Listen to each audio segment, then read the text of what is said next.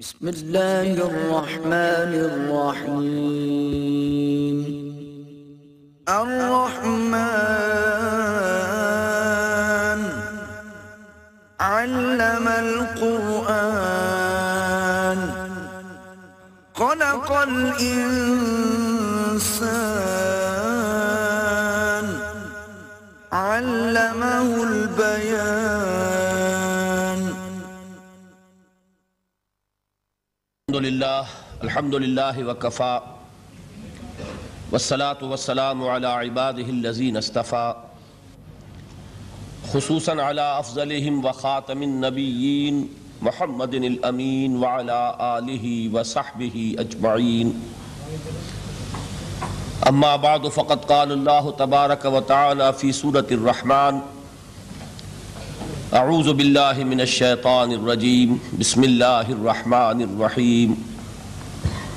अर्रहमान अल्लमल कुरान खलकल इंसान अल्लमहुल बयान वकाल तबारक वाली फ़ी सूरत यूनुस या युहन्नास कद जात कुम मोज़तुम रबकुम व शिफाउन लिमाफ़िसूर व हदम व रहमतुल्लिलमोमिन कुल बफ़ज़ल व बरहमती फ़बाल कफल यफ़रू हुआ खैरम्मा यजमाउन वकाल जल्ला फ़ी सूरत हश लव अनजलना हाजल कुरान अला जबल लराइतहु खाशिअम मुतसद्दिअम मिन खशियतिल्लाह वतिलक लमसाल नज़रिबुहा लिन्नास लअल्लहुम यतफक्करून सदक़ल्लाहुल अज़ीम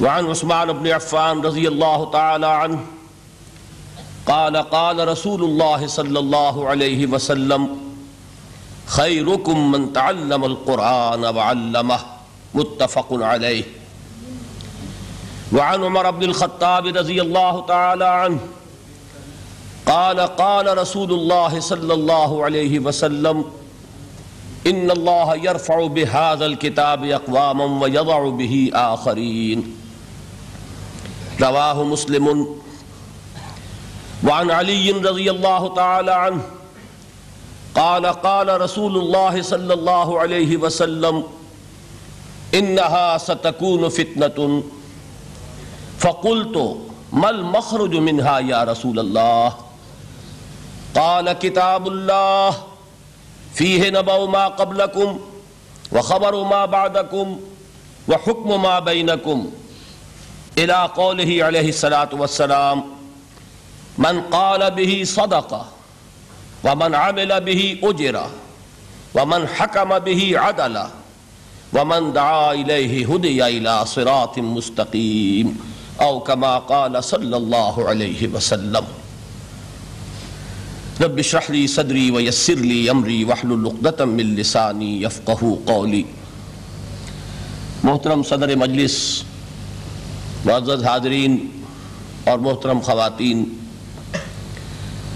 सबसे पहले तो मैं अल्लाह ताला का शुक्र अदा करता हूँ कि जिस प्रोग्राम के लिए एक तवील अरसे से ख़त किताबत का सिलसिला जारी था और यहाँ बहुत से मुखलिस हजरात उसके लिए कोशा थे, अल्लाह ताला ने अपने खसूसी फजल करम से उसके लिए हालात को मुआफ़ फरमाया। और आज हम उस प्रोग्राम का आगाज़ कर रहे हैं। फिर मैं समझता हूँ कि हजूर सल्लल्लाहु अलैहि वसल्लम के एक फरमान के बमूजिब मेरे ज़िम्मे है शुक्रिया अदा करना।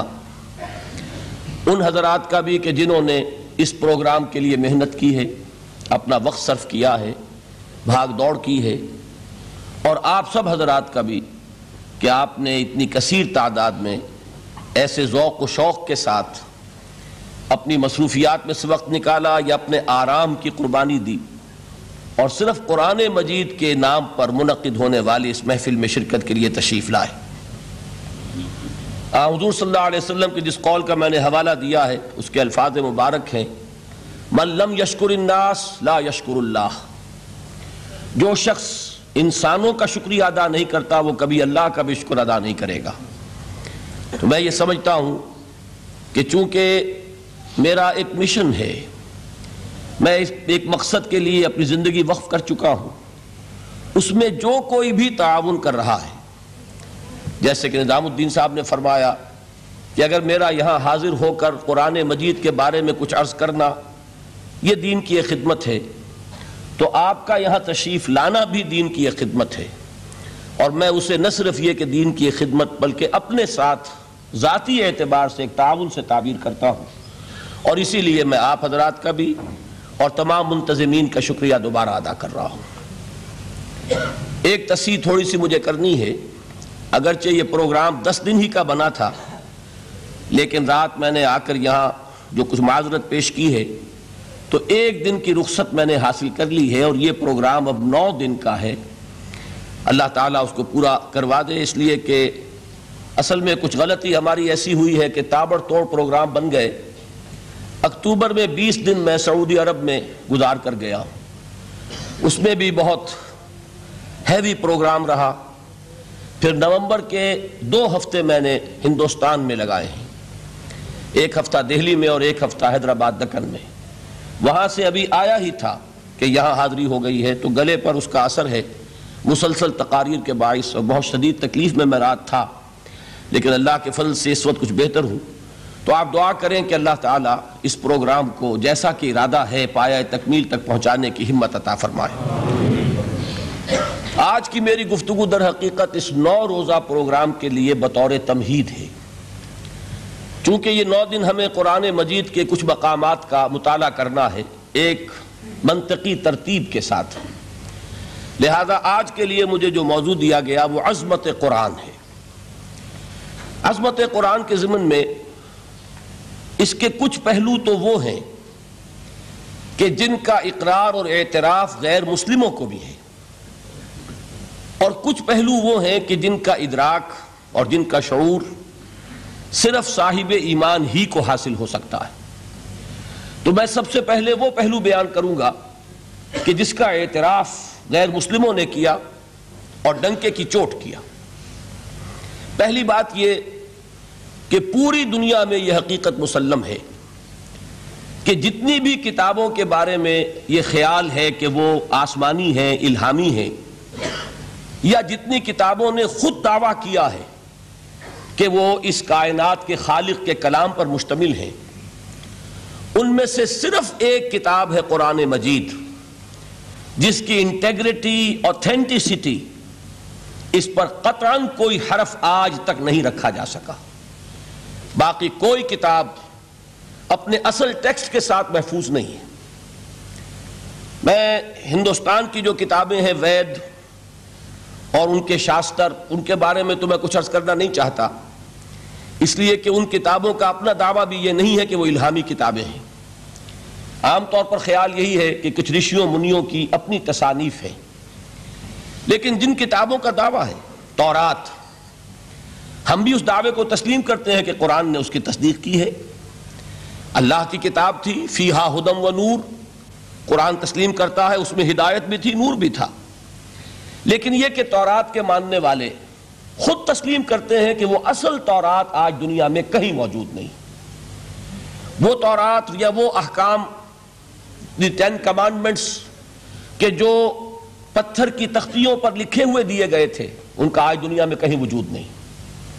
फिर यह कि मजीद हज़रत मूसा से जो पाँच किताबें मंसूब हैं, सिफर पैदाइश और सिफर खरूज वगैरह, उन किताबों के बारे में भी ये सब तस्लीम करते हैं कि सातवीं सदी कबल मसीह में जो एक बहुत बड़ा हमला हुआ था, यरूशलेम बर्बाद हुआ, पहले असीरियों ने हमला किया फिर बेबीलोनिया का बादशाह नेबुकट नज़र उसने शदीद हमला किया, यरूशलेम को तबाह किया, ईंट की ईंट बजा दी।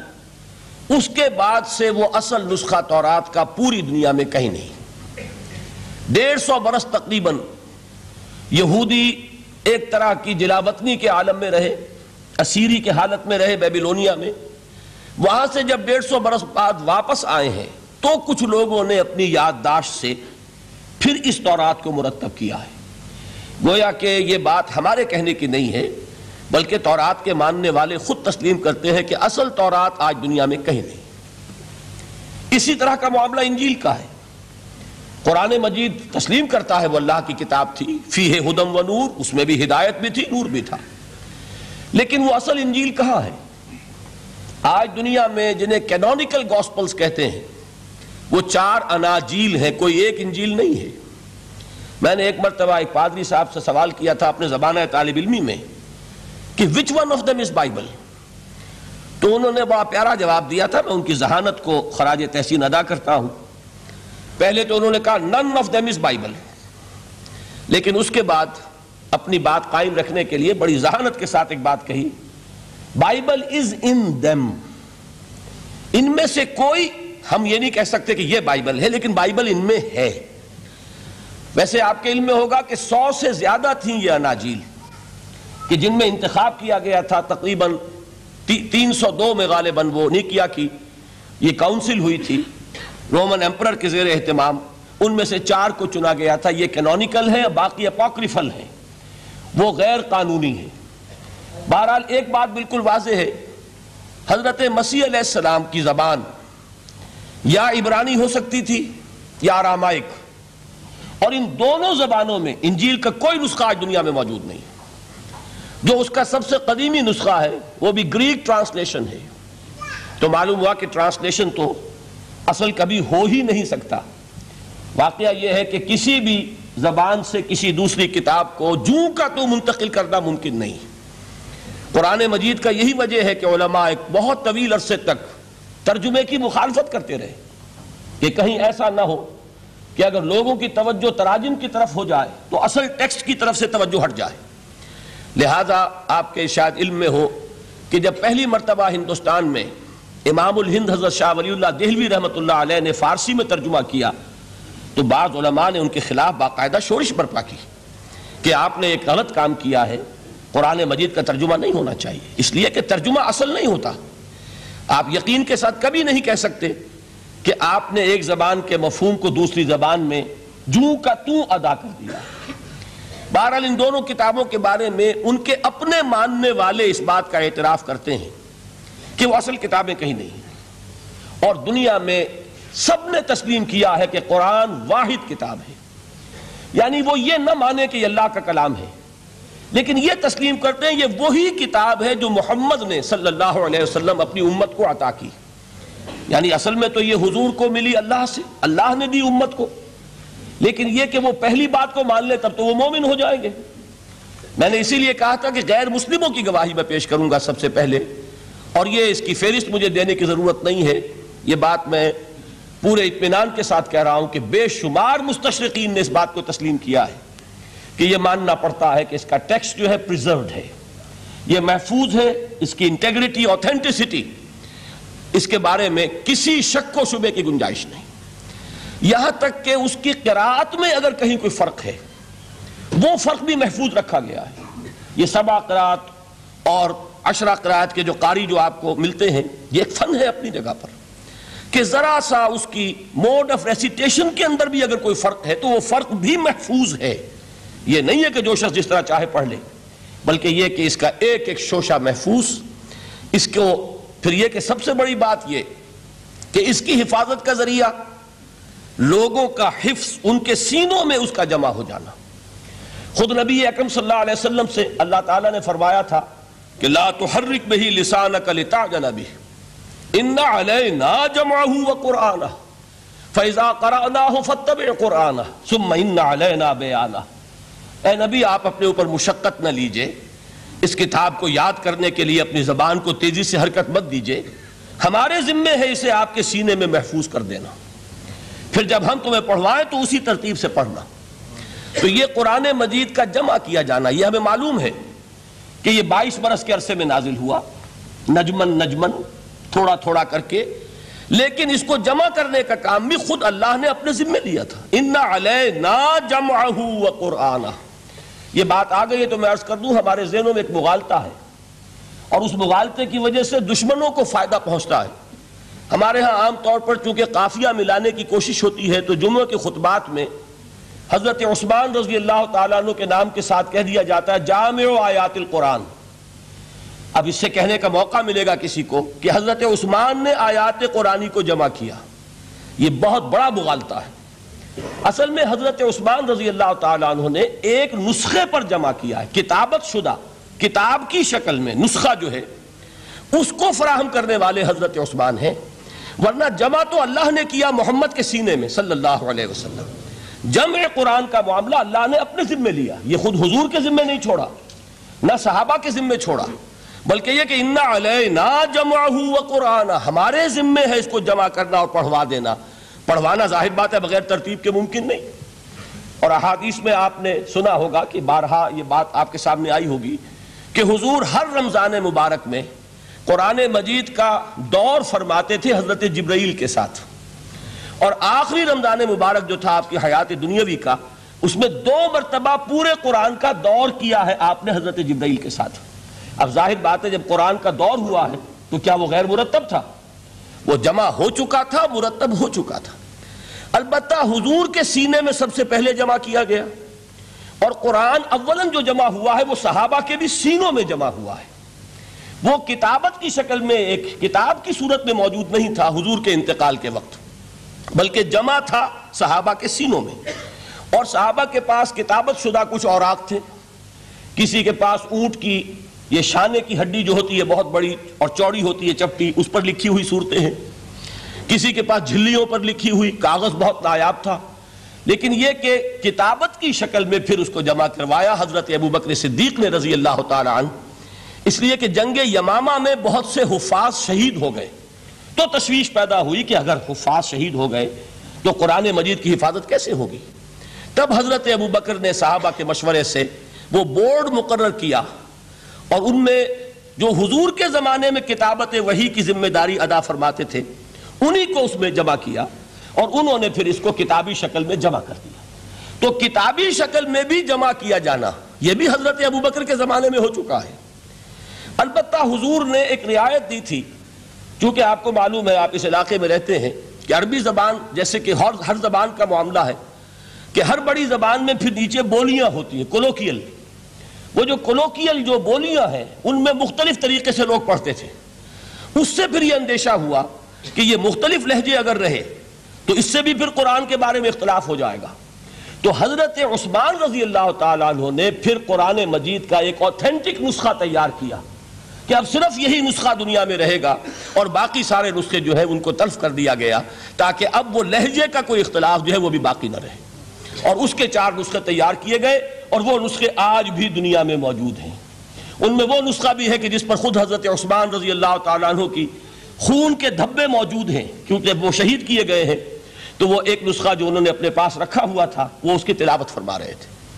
बहरहाल, पहली बात यह है, जो बिल्कुल तारीखी हकीकत है, कि जिन किताबों को भी आसमानी होने का दावा है, उनमें वाहिद किताब है कुरान मजीद, जिसका मतन महफूज है। दुनिया में कोई और किताब ऐसी नहीं है, जो ये दावा करके कुरान के मुकाबले में आ सके। और फिर आपको मालूम है कि किस, कितने बड़े पैमाने पर पूरी उम्मत में इस हिफाजत कुरान के अमल में हुफाज हिस्सा ले रहे हैं। नखूखा हुफाज मौजूद हैं। बाद ममालिक में आपको आठ आठ, दस दस बरस के बच्चे जो हैं, वो हाफिज मिल जाएँगे। कोई दुनिया में और किताब नहीं है कि जिसके हाफिज मौजूद हो। बड़े बड़े ओलमा की तस्ह कर देते हैं आठ आठ साल के बच्चे कि ये आप गलत पढ़ रहे हैं। इसके इस तरीके से एक एक शोशा जो है वो महफूज कर लिया गया है। तो ये बात जो है ये कुरान मजीद की अजमत और फजीलत के ज़िमन में पहली हकीकत है कि जिसे हमें सामने रखना चाहिए। और इस हकीकत के इदराक शूर के लिए कुरान पर ईमान लाजिम नहीं है, बल्कि ये वो बात है कि जिसका एतराफ़ हर शख्स करेगा खा वो कुरान को अल्लाह का कलाम मानता हो या ना मानता दूसरी बात कुरान मजीद की अजमत के ज़मीन में यह है, और वो इस पहलू से पूरी दुनिया को माननी पड़ेगी। और वाक़ यह है कि जो उनमें असहाब दानिश बीनश है, वो मानते हैं। कि मोहम्मद वसल्लम का ताल्लुक किसी प्री हिस्टोरिक ईरा से नहीं। हुजूर कुल 1400 बरस पहले की शख्सियत है। तारीख का यूँ समझिए कि निसफुल नहार the very midday of history कि कोई चीज़ भी उनकी पर्दा इख्फा में नहीं है। और आ हजूर सल्लल्लाहु अलैहि वसल्लम की यह बात हर शख्स मानेगा कि आपने तारीख इंसानी की का एक अजीम तरीन इनकलाब बर्पा किया। इस दौर में आपके इल्म में होगा। अभी कुछ छह सात साल पहले अमेरिका में एक किताब शाये हुई the hundred. Doctor Michael Hart उसके मुसन्फ हैं। मशाहिर आलम के मौजू पर इससे पहले भी दुनिया में बहुत किताबें लिखी गई। बड़े इंसान, बड़ी शख्सियतें, उनके छोटे छोटे लाइफ स्केच। लेकिन यह कि यह किताब इस एतबार से बड़ी यूनिक है, मुनफरिद है कि इन्होंने सौ अफराद का इंतखब किया। पूरी इंसानी तारीख की अजीम तरीन सौ शख्सियतें। फिर उनमें ग्रेडेशन की, उनमें एक दर्जा कायम की। ये सौ तो है अजीम तरीन, पूरी नौ इंसानी में। इनमें अजीम तरीन कौन है? फिर नंबर दो कौन है? फिर नंबर तीन कौन है? यही वजह है कि उन्होंने तारीखी एतबार से मुरतब नहीं किया। क्रोनोलॉजिकल ऑर्डर में नहीं, बल्कि इस तरतीब से कि जो अजीम तरीन इंसान है उसके नज़दीक, नंबर एक पर उसको लाए। फिर नंबर दो पर जो उनके बाद है, और आपके इल्म में यह बात होगी कि वो doctor Michael Hart the hundred में नंबर एक पर लाए मोहम्मद और उन्होंने ये कहा कि बहुत से लोग मेरी इस तस्वीर में नंबर एक पर मोहम्मद का ज़िक्र देखकर वसल्लम हैरान होंगे। इसलिए कि ज़ाहिर है वो मुसलमान नहीं है। वो तो ईसाई हैं, ताहाल भी ईसाई हैं। उन्होंने कहा कि इसमें मुझे लाजमन आई ओ एन एक्सप्लेनेशन मुझे इसकी वजाहत करनी पड़ेगी। और उसकी जो दलील उसने दी है, वो उस शख्स की जहानत की, बहुत बड़ी अक्कासी करने वाली शय है।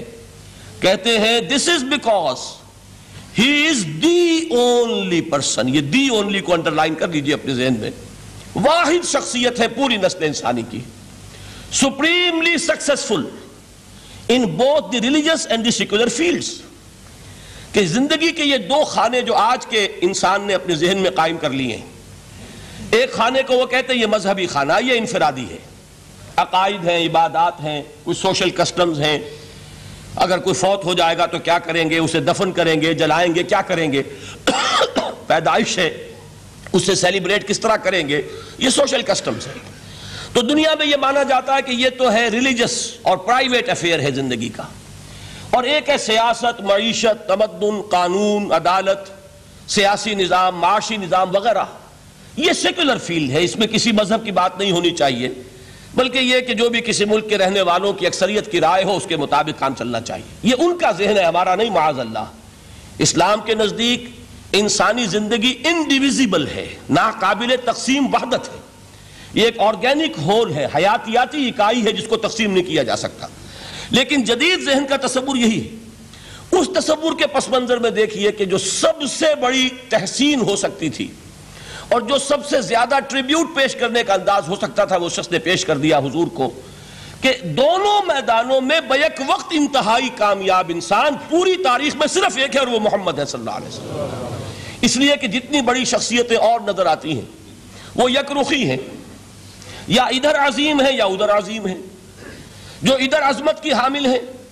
दीन में, मज़हब में, अखलाक में, रूहानियत में, जैसे हज़रत मसीह खुद या गौतम बुद्ध, उनका सियासत में इसमें कोई दखल नहीं, कोई इनकलाब बर्पा नहीं किया, कोई नई हुकूमत कायम नहीं की तो वहाँ उन्हें ज़ीरो देना पड़ता है। और इसके बरक्स सिकंदर आज़म है, अटीला है, चंगेज है। हिटलर को भी चाहे तो शामिल कर लें, जिसकी फतूहात जो है वो जंगल की आग की तरह फैली हैं। कोई मशरक से मगरब तक पहुँच गया, कोई मगरब से मशरक तक चला आया। हिटलर कहा आपको, सिकंदर आज़म कहाँ से चला, मकदूनिया से और दरियाए ब्यास तक पहुँचा है? और उधर से चंगेज इधर से गया, वहाँ तक पहुँचा है? अकीला जो है सेंट्रल एशिया से और यूरोप के मैदानों तक पहुँचा है।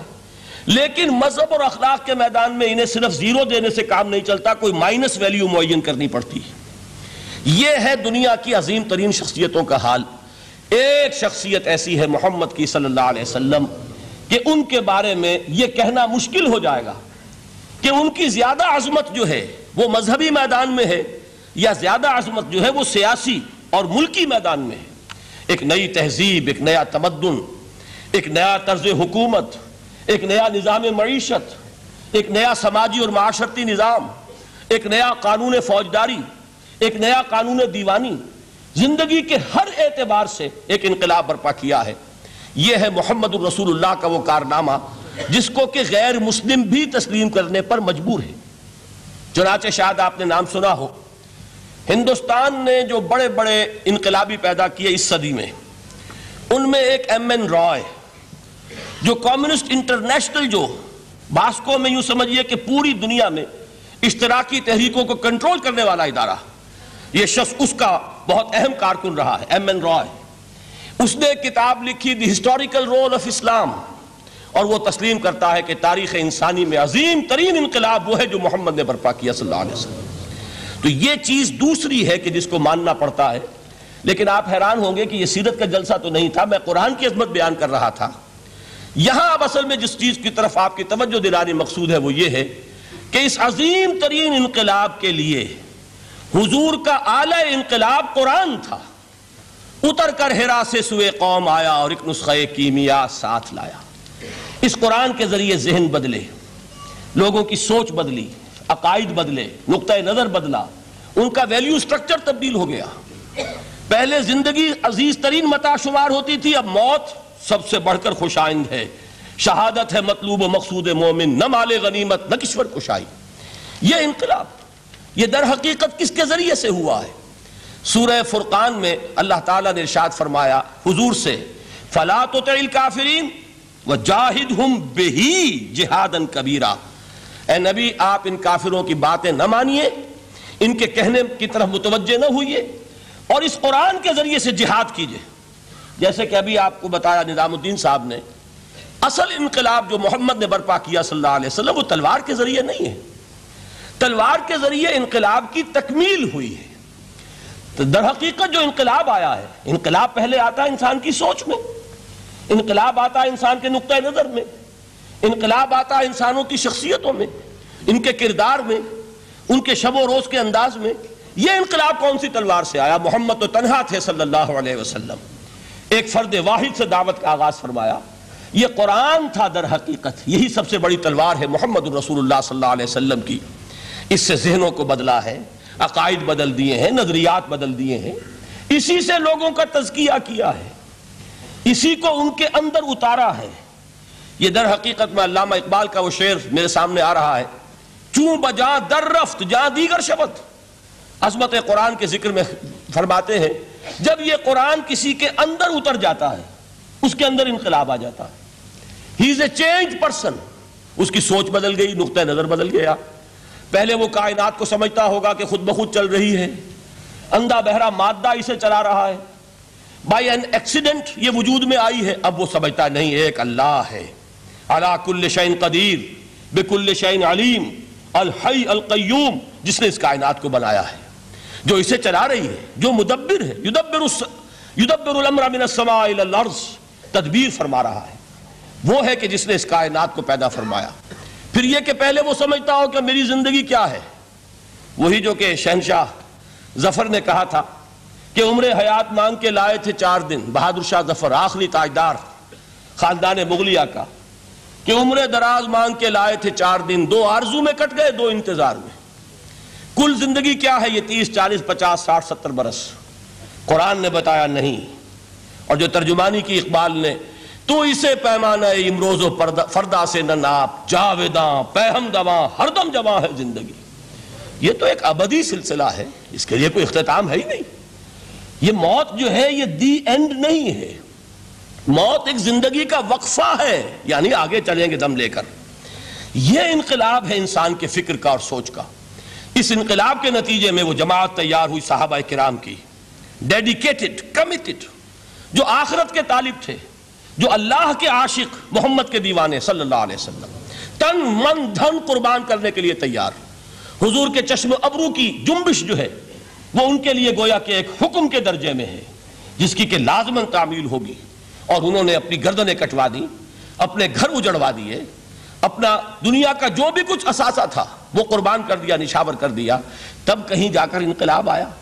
और ये शख्सियतें जो तैयार हुई तो उनके तैयार करने में ज़रिया क्या है? कुरान। यही वजह देखिए, नोट कीजिए, इसी बात को दूसरे पैराए में अर्ज़ कर रहा हूँ कि तारीख अंबिया के जिमन में भी एक बड़ी अजीब हकीकत सामने आएगी। हज़रत मूसा सलाम के मोजात दो बहुत मशहूर हैं, आसाए मूसा और यद बैजा। वैसे कुरान मजीद ने सात मजीद गिनवाए हैं, तिस आयातिन बैनातिन नौ बड़े खुले खुले मोजे जो फिर और आले फिर को दिखाए गए। फिर आपको मालूम है कि उसी असा की जरब से समंदर का फट जाना, उसी असा की जरब से एक चटान से बारह चश्मों का फूट बहना, और फिर ये कि मनो सलवा का नजूल है और गमाम है सेहरा के अंदर, जहाँ कोई चीज़ साय के लिए नहीं है, उनके ऊपर अब्र का साया किया जा रहा है। ये सारे मोजे आपको नज़र आ रहे हैं। इसी तरीके से हज़रत मसीह सलाम, कैसे कैसे मोजे? मुर्दा को कहा, कुम बेजन और खड़ा हो गया। गारे से बनाया एक परिंदे की शक्ल और उसमें फूंक मारी और उड़ता हुआ परिंदा हो गया। यानी यह कि एहियाए मौता और खल्क हयात, ये आखिरी मोजे हो सकते हैं। इसलिए कि यह खालिश अल्लाह ताला के अफाल है। लेकिन जरा इस कॉन्टेक्स्ट में देखिए, मोहम्मद का मौजा क्या है सल्लल्लाहु अलैहि वसल्लम? कुरान मजीद जिन लोगों ने पढ़ा है और समझ कर पढ़ा है, तर्जुमों से पढ़ा है, या वैसे वो अरबी जबान से वाकिफ है, उनको मालूम है कि कुरान बार बार कहता है, मोहम्मद का मौजूदा यूँ तो बेशुमार वाकयात होंगे लेकिन असल मौजूदा सिर्फ़ और सिर्फ़ कुरान है। इसी को पेश किया गया कि यही है, आओ मुकाबला कर लो। असल में मौजा कहते किसे? मौजा के माने आजिज कर देने वाली शय। यूँ तो औलिया अल्लाह जो है, हम उनकी करामात के कायल हैं। अल्लाह ताला अपने किसी नेक बंदे के मकाम और मरतबे के इजहार के लिए किसी वक्त कोई ऐसी चीज़ ज़ाहिर कर दे जो कानून तभी के खिलाफ हो। तो ये करामात औलिया हक है। और इस दर्जे की जो ज़ाहिर बात है कि जब औलिया के लिए करामात है तो अंबिया के लिए तो बहुत होंगी। असल मौजा किसे कहते हैं? जिसे कोई नबी चैलेंज के साथ पेश करता है कि यह है मेरी रिसालत का सबूत, आओ मुकाबला कर लो। हज़रत मूसा सलाम के जो असल मोजे थे, वो दो थे। एक असा, जिसका के मुकाबला किया आपको मालूम है कि फिर ने तमाम जागी, जो जादूगर थे, पूरे ममलकत के उन्हें जमा किया और मुकाबला किया। तो जिस चीज़ को के पेश किया जाए चैलेंज के साथ कि आओ तो मुकाबला कर लो, वो असल मौजूदा होता है उस नबी और रसूल का। तो हुजूर सल्लल्लाहु अलैहि वसल्लम का असल मौजूदा, यानी मौजूदात आप ये मुआलते में मुतला ना हो, मैं बकिया मौजूदात की नफी नहीं कर रहा। ये वाकयात अपनी जगह हक है कि हुजूर को पत्थर सलाम करते थे। हुजूर सल्लल्लाहु अलैहि वसल्लम जिस खजूर के तने के साथ टेक लगाकर खुतबा दिया करते थे, जबकि अभी मस्जिद नबी में मिंबर नहीं बना था। जब तादाद ज़्यादा हो गई मुसलमानों की और ज़रूरत महसूस हुई कि जरा बुलंद मकाम पर खड़े होकर आप खुतबा इर्शाद फरमाएँ तो फिर वो मिंबर बनाकर रखा गया। पहले मरतबा जब आप मिंबर पर चढ़ रहे थे खुतबा देने के लिए तो उस खजूर के सूखे तने में से ऐसी आवाज़ आई जैसे कोई बच्चा बिलक बिलक कर रो रहा हो कि वो सआदत जो मुझे हासिल रही थी, आज तक मैं महरूम हो गया। तो ये अंबिया का मकाम है, मौलाना रूम ने इसीलिए कहा है कि फलसफी कु मुनकिर हन्नाना अस्त। अज हवा से अंबिया बेगाना अस्त फलसफी और अकलियत परस्त इंसान, वो तो हन्नाना का इनकार कर देगा, कैसे मुमकिन है सूखा तना और उसके अंदर से बच्चे की तरह बिलकने की आवाज़ आए? लेकिन ये इसलिए कि वो अंबिया के खसूसी अहवाल जो है, उनको जानता नहीं। इस किस्म के खर्क आदत वाकयात हुजूर की ज़िंदगी में भी बेशुमार हुए।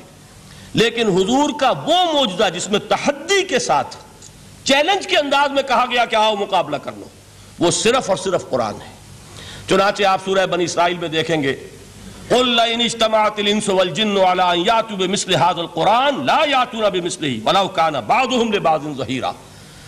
चैलेंज कर दीजिए, अगर तमाम इंसान और तमाम जिन मिलकर ये चाहें कि इस कुरान जैसी कोई तसनीफ कर दें तो चाहे वो एक दूसरे का कितनी भी इसमें मदद करें और ताउन करें, वो हर किस कुरान जैसी किताब तसनीफ नहीं कर सकते। इससे आगे बढ़कर यह बात कही गई अच्छा पूरा कुरान नहीं ला सकते। इस कुरान की तरह की दस सूरतें ही तसनीफ कर लो। जब इसका भी जवाब नहीं दिया गया तो जिसे कहते हैं बरसबील तनजुल और पंजाबी में कहता है कि बुरे को घर तक पहुंचाना। वो बुरे को घर तक पहुँचाने के लिए फरमाया, एक सूरत ही बना लाओ। ये सूरह हूद में और सूरह यूनुस में ये मजमून आया। और फिर सूरह बकरा में हिजरत के बाद जो पहली सूरत नाजिल हुई, उसमें फिर इसको दोहरा दिया गया। इन कुन तुम फ़ी रहा नजलना अला अब्दना फातू बेसूरत मिसली वदू शहदा कुमिन इन कुन तुम सादिकीन कि अगर तुम्हें कोई शक है इस किताब के बारे में जो हमने नाजिल फरमाई है, शक क्या होगा? शक इसी बात में होगा कि शायद ये मोहम्मद का अपना कलाम है, सल्लल्लाहु अलैहि वसल्लम। या कोई और इंसान है जो इन्हें सिखा पढ़ा रहा है। अगर तुम्हें इस नौयत का कोई शक है तो इस जैसी एक सूरत बना लाओ। फातू बे सूरत मिसरी और नोट कीजिएगा, सूरतुल असर भी सूरत है, सूरतुल कौसर भी सूरत है। तीन आयात भी अगर ऐसी तुम तसनीफ करके ले आओ, तब तो तुम्हें कुछ शक करने का हक हासिल होगा, और अगर नहीं कर सकते तो जान लो, फैलम तफालू व लन तफालू। फिर अगर तुम ऐसा न कर सको, और हरगिज नहीं कर सकोगे, जरा चैलेंज का अंदाज देखिए, कि हरगिज नहीं कर सकोगे फतकुन्नार अल्लती वकूदन्नास वल हिजारा। तो डरो उस आग से, जिसका ईंधन बनेंगे इंसान और पत्थर। अब इस बात को समझिए कि तारीखी हकीकत है ये, जिसका कोई काफिर इनकार नहीं कर सकता। कि कोई शख्स इस चैलेंज को कबूल करने की ज़रूरत नहीं कर सका। अगर झूठ मूठ को भी कोई खड़ा हो जाता, और कहता कि ठीक है, मैंने ये एक सूरत बनाई है, और मेरा दावा यह है कि ये कुरान जैसी है तो एक कंट्रोवर्सी तो पैदा हो जाती ना। कुछ लोग चाहे कहते कि नहीं, ये कुरान के सतह की नहीं है। लेकिन यह कि उसका दावा तो हो जाता। लेकिन तारीख यह बता रही है कि सिरे से किसी शख्स ने इसकी ज़रूरत नहीं की। इस दर्जे वो कुरान से मरूब हुए। तो हुजूर का सबसे बड़ा मुआवजा जो आज तक ज़िंदा है। इसको जेन में रखिए, मैंने जो हज़रत मूसा, हज़रत ईसा के मोजात गिनवाए हैं। वो दर हकीकत उनकी अपनी जात के साथ थे। यद बैजा मूसा के साथ था। आसा मोजा उस वक्त था जब मूसा के हाथ में था। उसके बाद कई सौ बरस तक वो सुंदू के सकीना जो है, ताबूत सकीना, उसमें वो वो आसा रखा रहा। लेकिन अब वो मोजा नहीं था, वो सूखी लकड़ी थी, इसके सिवा कुछ नहीं। तो तमाम अंबिया और रसुल के मोजे खत्म हो गए। वो उनकी जात के साथ थे। मोहम्मद की रिसालत दायमी है ताकि आम क़यामत। लिहाजा मोजा भी आपका दायमी है। वो मोजा आज भी मौजूद है। अलबत् मैं इधर ज़रूर तवज्जो दिलाऊँगा कि कुरान मजीद के एजाज के तीन पहलू हैं। पहला पहलू और ज़्यादातर इसी की तरफ़ तवज्जो ज़्यादा हुई है। वो है कुरान की फसाहत, बलागत, अदबियत, उसकी चाशनी। ज़ाहिर बात है कि इसका शूर और इदराक सिर्फ़ अरबों को हो सकता है। बल्कि मेरे ख्याल में, नाराज़ ना हो अहले अरब तो आज के अरबों को भी नहीं हो सकता। ये उसी दौर के अरब, उनकी अपनी जो उस वक्त की जबान थी, उस जबान में फुसहा, बुलगा शुरा खुतबा उनको इतना जोम था कि वो बाकी पूरी दुनिया को कहते थे, ये गूँगे हैं, बोलना हमें आता है। खतीब हम हैं, शायर हम हैं, खुतबा हम दे सकते हैं, शेर हम कह सकते हैं। बाकी सब तो अजमी हैं, गूँगे हैं। इनके अंदर ना फसाहत है, ना बलागत है, ना इनके कलाम में चाशनी है, ना उसके अंदर कोई शिको है। यह दावा जिन्हें था, जब उनके मुँह बंद हो गए कुरान को सुनने के बाद, कि इस कलाम का कोई मुकाबला मुमकिन नहीं है। जो उनके सबा मोल्लका के शौरा में से आखिरी शायर, वो ईमान ले आए। उसके बाद जब उनसे कहा गया कि अब आप शेर नहीं कहते, हज़रत उमर ने एक मरतबा उनसे सवाल किया, क्या बात है? अब आपने शेर कहने छोड़ दिए। तो उनका जवाब यह था, अब कुरान, क्या आप कुरान के बाद भी इसका इम्कान है कि कोई शख्स अपनी फसाहत और बलागत का कोई इजहार करना चाहे? यह तो फसाहत और बलागत की एक मेराज है कि जिस तक के अब किसी इंसान की रसाई मुमकिन नहीं। तो फसाहत और बलागत जो है कुरान की और उसकी अदबियत। दर हकीकत इसका इदराक तो हो सकता है सिर्फ़ अहले ज़ुबान को। हम लोग जो तर्जुमों से पढ़ते हैं, चाहे कितनी ही ग्रामर पढ़ लें, कितनी सरफ नह पढ़ लें वाक़ यह है कि वो जो एक होता है नफ्स पर जब उंगली आती है तो जो एक आपको फील होती है, वो फील हम जो अजमी लोग हैं, जिनकी मादरी जबान अरबी नहीं है, वो कुरान मजीद की फसाद और बलागत को उस तौर से नहीं समझ सकते, जैसे कि अहले जबान समझ सकते हैं। और ख़ास तौर पर जैसे कि उस ज़माने के अहले जबान ने समझा। आज चूँकि अरबी ज़बान वैसे तो जो जो उसकी फसीह लैंग्वेज है, वो जू की तू अपनी असल पर कायम है और वो इसी कुरान के तुफैल और कुरान के सदक़े कायम है। वरना दुनिया में कोई दूसरी ज़बान नहीं है कि जो डेढ़ हज़ार बरस तक इतनी प्योर रह जाए, उसमें तब्दीली आती है। खुद उर्दू जो है तीन सौ बरस की उर्दू, दक्कन की उर्दू जरा उसको कभी पढ़िए तो आप हैरान होंगे कि ये उर्दू जबान है। और आज की उर्दू कोई और है? ये सिर्फ़ दो ढाई सौ बरस के अंदर ये इनकलाब उर्दू में हो चुका है। अरबी जबान पंद्रह बरस, पंद्रह सौ बरस से वो कायम है अपनी उसी जगह पर। और वो सिर्फ़ कुरान का एजाज और कुरान का सदका है। लेकिन बाकी जो असल में बोली जाने वाली जबानें हैं, वो बहुत बदल चुकी हैं। लिहाजा तमाम अहले अरब के लिए भी अब कुरान के इस पहलू को सही तौर पर समझना मुमकिन नहीं कुरान की जो एजाज के दो पहलू हैं, वो है दर हकीकत जो मेरी और आपकी तवज्जो के खास तौर पर। दर हकीकत हकदार है और हमें उनकी तरफ़ तवज्जो करनी चाहिए। बदकिस्मती से उसकी तरफ़ आम तौर पर उलमा ने तवज्जो नहीं की। उसकी सिर्फ़ अदबियत ही का चर्चा होता है। असल में कुरान मजीद, इल्म इंसानी की मेराज, फ़िक्र, फलसफा, हिकमत, कुरान की अबदी हिकमत, कुरान का अबदी फलसफा। कुरान इंसानी मसाइल का जो हल देता है। कुरान ने सोशल साइंसिस में जिस जिस तरीके से रहनुमाई की है, ये दो पहलू हैं उसके एजाज के, जिसकी कि आज हमें ज़रूरत है कि हम उसका शूर और इदराक हासिल करें। इसके ज़िमन में मैं ख़ास तौर पर अल्लामा इकबाल का नाम लेना चाहता हूँ। मेरे नज़दीक इस दौर में कुरान मजीद के इस एजाज और उसके एक मौजूदा होने के लिए सबसे बड़ी दलील अल्लामा इकबाल की शख्सियत है। वजह क्या है? कि अल्लामा इकबाल के तबके में से नहीं थे? ज़ाहिर बात है कि जिनका पूरा जो है जिनकी ज़िंदगी गुजरती हो, काल अल्लाह काल रसूल में, उनके दिलों में अजमत कुरान की, उनके दिलों में हुजूर की मोहब्बत, ये तो समझिए कि होनी ही चाहिए। उनके शबो रोज इसी में गुजरते हैं। लेकिन यह कि एक ऐसा शख्स, जिसकी तालीम है कॉलेजों की, यूनिवर्सिटियों की, जिसने मशरक और मगरब के फलसफे खंगाल डाले, वो शख्स और वो भी उस दौर में, जबकि हम पर मगरब से मरूबियत बहुत शदीद थी। आज तो वो मरूबियत बहुत कम हो चुकी है। आज तो हमारा आम नौजवान जो है, वो आँखों में आँखें डालकर बात करता है। उसमें खुद एतमादी है। हमारा भी अपना एक माशी निज़ाम है। हमारा अपना एक सियासी निज़ाम है। हमारा एक अपना समाजी निज़ाम है। हमारी अपनी सोशल वैल्यूज़ हैं। आज का नौजवान, अल्हम्दुलिल्लाह, एहया इस्लाम की वो जिद्दोजहद जो है, वो मरहला दर मरहला, बहरहाल आगे बढ़ रही है। वक्त लगेगा, लेकिन यह कि इसमें यकीनन तरक्की हुई है। उसी का मजर यह है कि खुद एतमादी है। वी हैव कॉन्फिडेंस हम जानते हैं कि इस्लाम एक दीन है, मुकम्मल दीन है। इसके पास ज़िंदगी के तमाम मसाइल का हल है। लेकिन यह है आज उन्नीस की बात। अल्लामा इकबाल इस सदी के आगाज़ में गए हैं यूरोप। जबकि हम महकूम थे अंग्रेज़ के। एक हाकिम कौम के यहाँ जाकर उससे मरूबियत कितनी शदीद उस वक्त थी।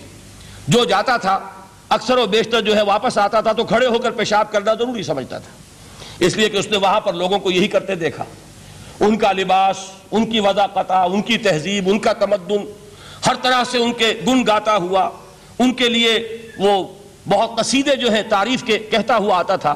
लेकिन एक अल्लामा इकबाल की शख्सियत वो है कि वो ये खुद कहते हैं कि मैं इस आग में डाला गया हूँ मिसले खलील।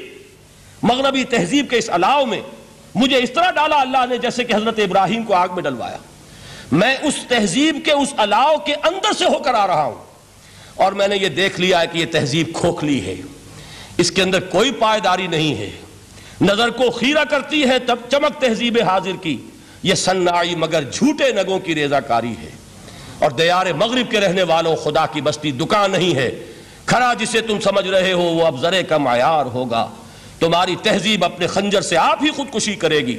जो शाख नाजुक पे आशियाना बनेगा ना पायदार होगा। अब आप अंदाज़ा कीजिए वो शख्स, जो बुनियादी तौर पर फलसफी है, फलसफे का तालब इल्म है।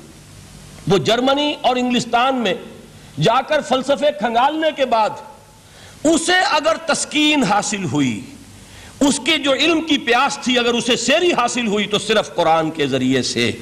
न कहीं जहाँ में अमा मिली, जो अमा मिली तो कहाँ मिली मेरे जुर्म खाना खराब को, तेरे अफवे बंदा नवास में। ये वो शख्स है, आखिरी ज़िंदगी में इनका काम सिर्फ़ एक रह गया था, कुरान की तिलावत। बड़े बड़े फलसफी मिलने आते थे, अल्लामा इकबाल से मिलने। वो समझते थे, बड़ी लाइब्रेरी होगी। जैसे बड़े वकील, उसकी लाइब्रेरी आपको मालूम है कितनी जिल्दें रखी होंगी, खूबसूरत जिल्दें बनी हुई। ऐसे ही कोई बड़ा फलसफी, बड़ा प्रोफेसर, उसकी स्टडी, उसकी किताबें, बड़ी मरूब कुन होनी चाहिए। लेकिन अल्लामा इकबाल के यहाँ सब किताबें उठवा दी थी उन्होंने। सिर्फ़ एक किताब रह गई। और सैयद नज़ीर न्याजी का नाम आपने सुना होगा। उन्होंने जब यह गवाही दी है यह वाक्य शायद आपके इल्म में ना आया हो यह बहुत अहम वाक़ है। वो ये लिखते हैं कि मैंने एक मरतबा अल्लामा से पूछा कि कुछ लोग एतराज़ करते हैं या ये ख्याल ज़ाहिर करते हैं कि आपने अपना फलसफा खुदी निटशे से लिया है। कोई कहता फलां से लिया है, कोई कहता फलां से लिया है। कुछ आप खुद बता सकेंगे कि आपके फलसफे खुदी की सोर्स क्या है। तो अल्लामा ने कहा कि अच्छा कल फला वक्त आ जाना। तो मैं तुम्हें लिखवा दूँगा डिक्टेट करा दूँगा। तो सैयद नजीर न्याजी कहते हैं कि मैं बहुत खुश हुआ कि ये शहादत मेरे हिस्से में आ रही है। कि अल्लामा इकबाल खुद मुझे तहरीर कराएँगे कि मेरे फलसफे की सोर्स क्या है। मैंने कहा से अखज किया है? दूसरे रोज वो गए, हाजिर हुए, बड़े ही अरमानों के साथ पेंसिल और कापी लेकर बैठे। अल्लामा ने फरमाया, जरा कुरान मजीद निकाल लाओ। वो कुरान मजीद लाए, हैरान हुए। ये फलसफे का सोर्स मुझे डिक्टेट कराने चले थे। ये कुरान मजीद कह रहे कहा कि जरा सूरत हशर, उसका आखिरी रुकू। वला तकून कल्लजीन नसुल्लाफानसाहम अनफुसहम उलाकहमुलफासिकून ए लोगों, उन लोगों के मानिंद न हो जाना जिन्होंने अल्लाह को भुला दिया। तो अल्लाह ने उन्हें अपनी खुदी से गाफिल कर दिया, अपने आप से बेगाना बना दिया। यही है लोग जो फासिक हैं। अल्लाह ने कहा, मेरे फलसफे की सोर्स ये।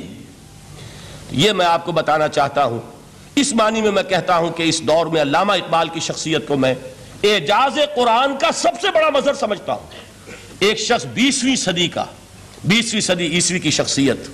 और फिर यह कि वो कहीं मस्जिद और किसी मदरसे के माहौल में पला बढ़ा नहीं है, बल्कि स्कूलों और कॉलेजों में और यूनिवर्सिटियों में। और सिर्फ़ हिंदुस्तान में नहीं, इंग्लिस्तान और जर्मनी की यूनिवर्सिटियों में रहा, जिसने अपना लोहा मनवाया है।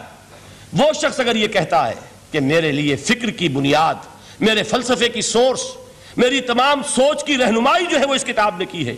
तो मालूम हुआ कि वाकता ये कुरान मजीद आज भी मौजा है। ये बात तो हुई फलसफे और फ़िक्र के एतबार से। दूसरा पहलू जो अप्लाइड पहलू है, इस दौर के एतबार से वो अहमतर हो गया है। इंसान के लिए जो पेचीदा तमदनी मसाइल हैं, सियासी मसाइल को कैसे हल किया जाए, माशी मसाइल का हल कैसे हो, समाज में तोज़ुन कैसे हो मर्द और औरत के दरमियान तवाजुन कैसे हो? होता क्या है? या औरत भेड़ बकरी की तरह की मिल्कियत बन जाती है। हमारे यहाँ उर्दू में जो उसका मुहावरा है कि जूती की नोक, ये उसकी हैसियत हो जाएगी। या दूसरी तरफ़ औरत क्लोपेट्रा बनकर कौमों की किस्मतों से खेलेगी। दुनिया में ये दो इंतहाएँ हुई। कहाँ नुक़ अदल कहाँ है? कैसे बैलेंस जो है स्ट्राइक किया जाए?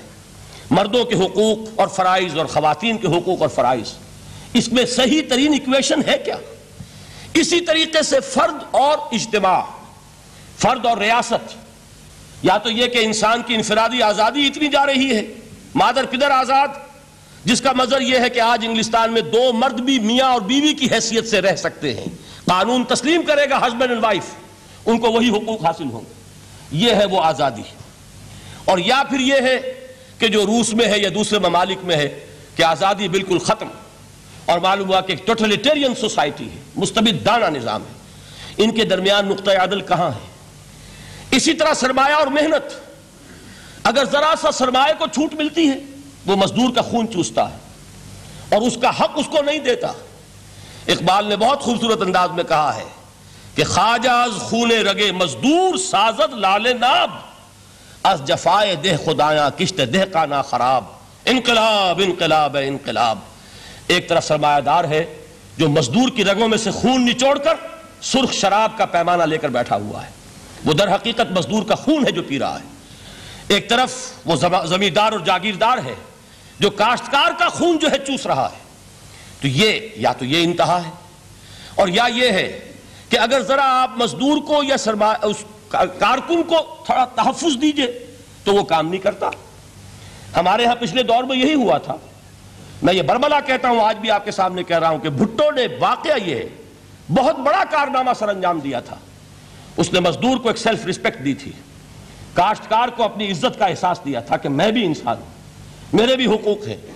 लेकिन नतीजा उसका नेगेटिव निकला। मजदूर ने काम करना छोड़ दिया। मीशत की गाड़ी खत्म हो गई। वो चीज़ के जो मुतवाजिन हो, जिसमें मजदूर को उसका हक मिल रहा हो, और पसीना खुश्क होने से पहले उसकी जायज़ मजदूरी उसको मिल गई हो जिसमें कि इंसान किसी सरमायादार की रैयत बनकर न रह जाए। दूसरी तरफ़ यह कि सरमाए के लिए भी जो उसका सही है कि उसको इंसेंटिव मिले, वो मैदान में आए, उसके अंदर रिस्क लेने के जो है वो सलाहियत पैदा हो, इन दोनों चीज़ों को कैसे मुतवाजन किया जाए? वाक़ यह है कि यह है वो पेचीदा मसाइल जिनका हल कुरान में है। हमारी बदकिस्मती क्या है? कि हमने खुद इन चीज़ों के लिए दूसरों के सामने झोली पसारी हुई। हम दूसरों से भीख मांग रहे हैं। हमारा हाल क्या हुआ था इस सदी के शुरू में? मुस्तफ़ा कमाल पाशा ने। जब तुर्की में इस्लाम के आयली कवानीन भी मनसूख किए, नोट कीजिए इसको। ये इसी सदी के वो सदमे हैं जो हमने उठाए हुए हैं। और गाहे गाहे बास खाई किस्सा पारी न रहा ताज़ा खाही दाश्तन दाग हाय सी न रहा इस सदी में क्या नहीं हुआ है? अरबों की रिवोल्ट तुर्कों के खिलाफ। उनके पीठ में जो खंजर घोंपा और एक अंग्रेज़ एक कर्नल लॉरेंस की वो सारी शरारत। उसके नतीजे में एक अजीम ममलकत उस्मानिया, सल्तनत उस्मानिया, द ग्रेट ऑटोमान अंपायर, उसके चीथड़े उड़ गए। और उसके बाद वादे किए थे अरबों से कि हम तुम्हें हुकूमत देंगे। हुआ क्या कि उनके छोटे छोटे टुकड़े किए और तकसीम कर लिए। मगरबी साम्राज्य का दौर शुरू हो गया। उसका एक रद्द अमल मुस्तफ़ा कमाल पर इस दर्जे शदीद हुआ। उसने हर चीज़ जिसका ताल्लुक अरबों से था उसको खत्म कर दिया, मुल्क बदर कर दिया। अरबी में अजान नहीं होगी, अरबी में नमाज़ नहीं पढ़ी जाएगी। और उसी के जिमन में यहाँ तक गया कि फैमिली लॉज भी रोमन लॉज जो है वो नाफिज किए। तो यूरोप के अखबार ने उस वक्त ये तंज किया था मुसलमानों पर। ये मुसलमान अजीब कौम है। कहते ये है कि हमारे पास दुनिया का बेहतरीन जबता है, बेहतरीन कानून है। हमारे कानून से बेहतर किसी का कानून नहीं। और हाल ये है कि फैमिली लॉस के लिए भी ये हमसे भीख मांग रहे हैं। हमसे वो कवानीन लेकर अपने यहाँ नाफिज कर रहे हैं। आज बदकिस्मती से अक्सर और बेशतर मुसलमान ममालिक का हाल यही है। आज हम उनसे भीख मांग रहे हैं। कहीं जमहूरियत की भीख है, कहीं सोशलिज्म की भीख है, कहीं किसी और समाजी निज़ाम की भीख है, कहीं मर्द और औरत की कामिल मुसावात का एक नज़रिया है, शाना बशाना चलने वाला फलसफा है, जो खालिश मगरब की तहजीब की एक भीख है, जो मांगी जा रही है। काश के आज कुरान के उस असल एजाज की तरफ़, जो उसका असल मौजदा इस दौर के लिए, मैंने अर्ज़ किया कि एजाज कुरानी का, वो मौजदा कि वो फसाहत और बलागत की मेराज है। वो या तो अप्रिशिएट कर सकते हैं अहले अरब, और अहले अरब में से भी हकीकत में, वो जो कदीम जाहिली शायरी के जानने वाले हैं, जो बहुत कम रह गए अब, वो जान सकते हैं कि जब कुरान नाजिल हुआ तो क्यों जबानें गुंग हो गई थी? क्यों कोई एक शख्स झूठ मूठ को भी मुद्दई बनकर नहीं आ सका? कि ये मैंने कुरान की जैसी एक किताब या कुरान जैसी एक सूरत या कुरान की तरह के चंद जुमले मैंने मौजू कर दिए हैं। लेकिन दूसरा पहलू है फ़िक्र और फलसफा। उसके एतबार से जिसका सबसे बड़ा सबूत इस दौर में अल्लामा इकबाल। और तीसरा पहलू है Islamic social sciences, political science, economics sociology इसमें जो कुछ कुरान ने दिया है, जो आज भी इंसान की रहनुमाई के लिए बेहतरीन निज़ाम है उस निज़ाम को हम समझे, उसे दुनिया के सामने पेश करें, तब दर हकीकत कुरान मजीद का एजाज सामने आएगा। ये दो पहलू तो मैंने वर्ष किए हैं कि जो किसी गैर मुस्लिम को भी नज़र आएँगे। कुरान का प्रिजर्व होना, उसकी इंटेग्रिटी ऑथेंटिसिटी ये चीज़ें वो है कि जो सबने मानी। कुरान के ज़रिए तारीख इंसानी का अजीम तरीन इनकलाब बर्पा होना, ये वो बात है कि जो किसी अंधे को भी देखनी पड़ती है। इस हकीकत का एतराफ दुश्मन को भी करना पड़ता, मैं याद दिला दूँ आपको। एच जी वेल्स आपने नाम सुना होगा। साइंटिफिक फिक्शन में उसका बड़ा ऊँचा मकाम है। लेकिन उसने तारीख नस्ल इंसानी पर भी दो किताबें लिखी। A short history of the world और a concise history of the world concise history of the world में वो शख्स हुजूर के ज़िक्र पर जब आता है तो मैं सिर्फ़ ज़िक्र कर रहा हूँ, नकल कुफर कुफर न बाशत उसने हुजूर की शख्सियत पर बड़े रकीक हमले किए बड़े घटिया हमले किए हुजूर की खास तौर पर तादुद इजदवाज का जो मामला है, ये कड़वी गोली इनके हलक से उतर नहीं सकती। इसलिए कि इनका आइडियल है हज़रत मसीह और हज़रत Yahya, John the Baptist and Jesus of Nazareth. उन दोनों ने एक शादी भी नहीं की तजरुद की ज़िंदगी बसर की। लिहाजा एक शादी भी इनके नज़दीक घटिया फेल है। तो हुजूर ने तो की है ग्यारह शादियाँ, ग्यारह निकाह आपके ये जो कड़वी गोली है, ये इनके हलक से नीचे नहीं उतरती, इसलिए मैं उन्हें माजूर समझता हूँ। तो उसने इस पहलू से तो बड़े हमले किए, लेकिन खुतब हजतुलविदा के वो जुमले जो है तारीखी, पूरे के पूरे उसने कोट किए। ला फ़सल अरबीन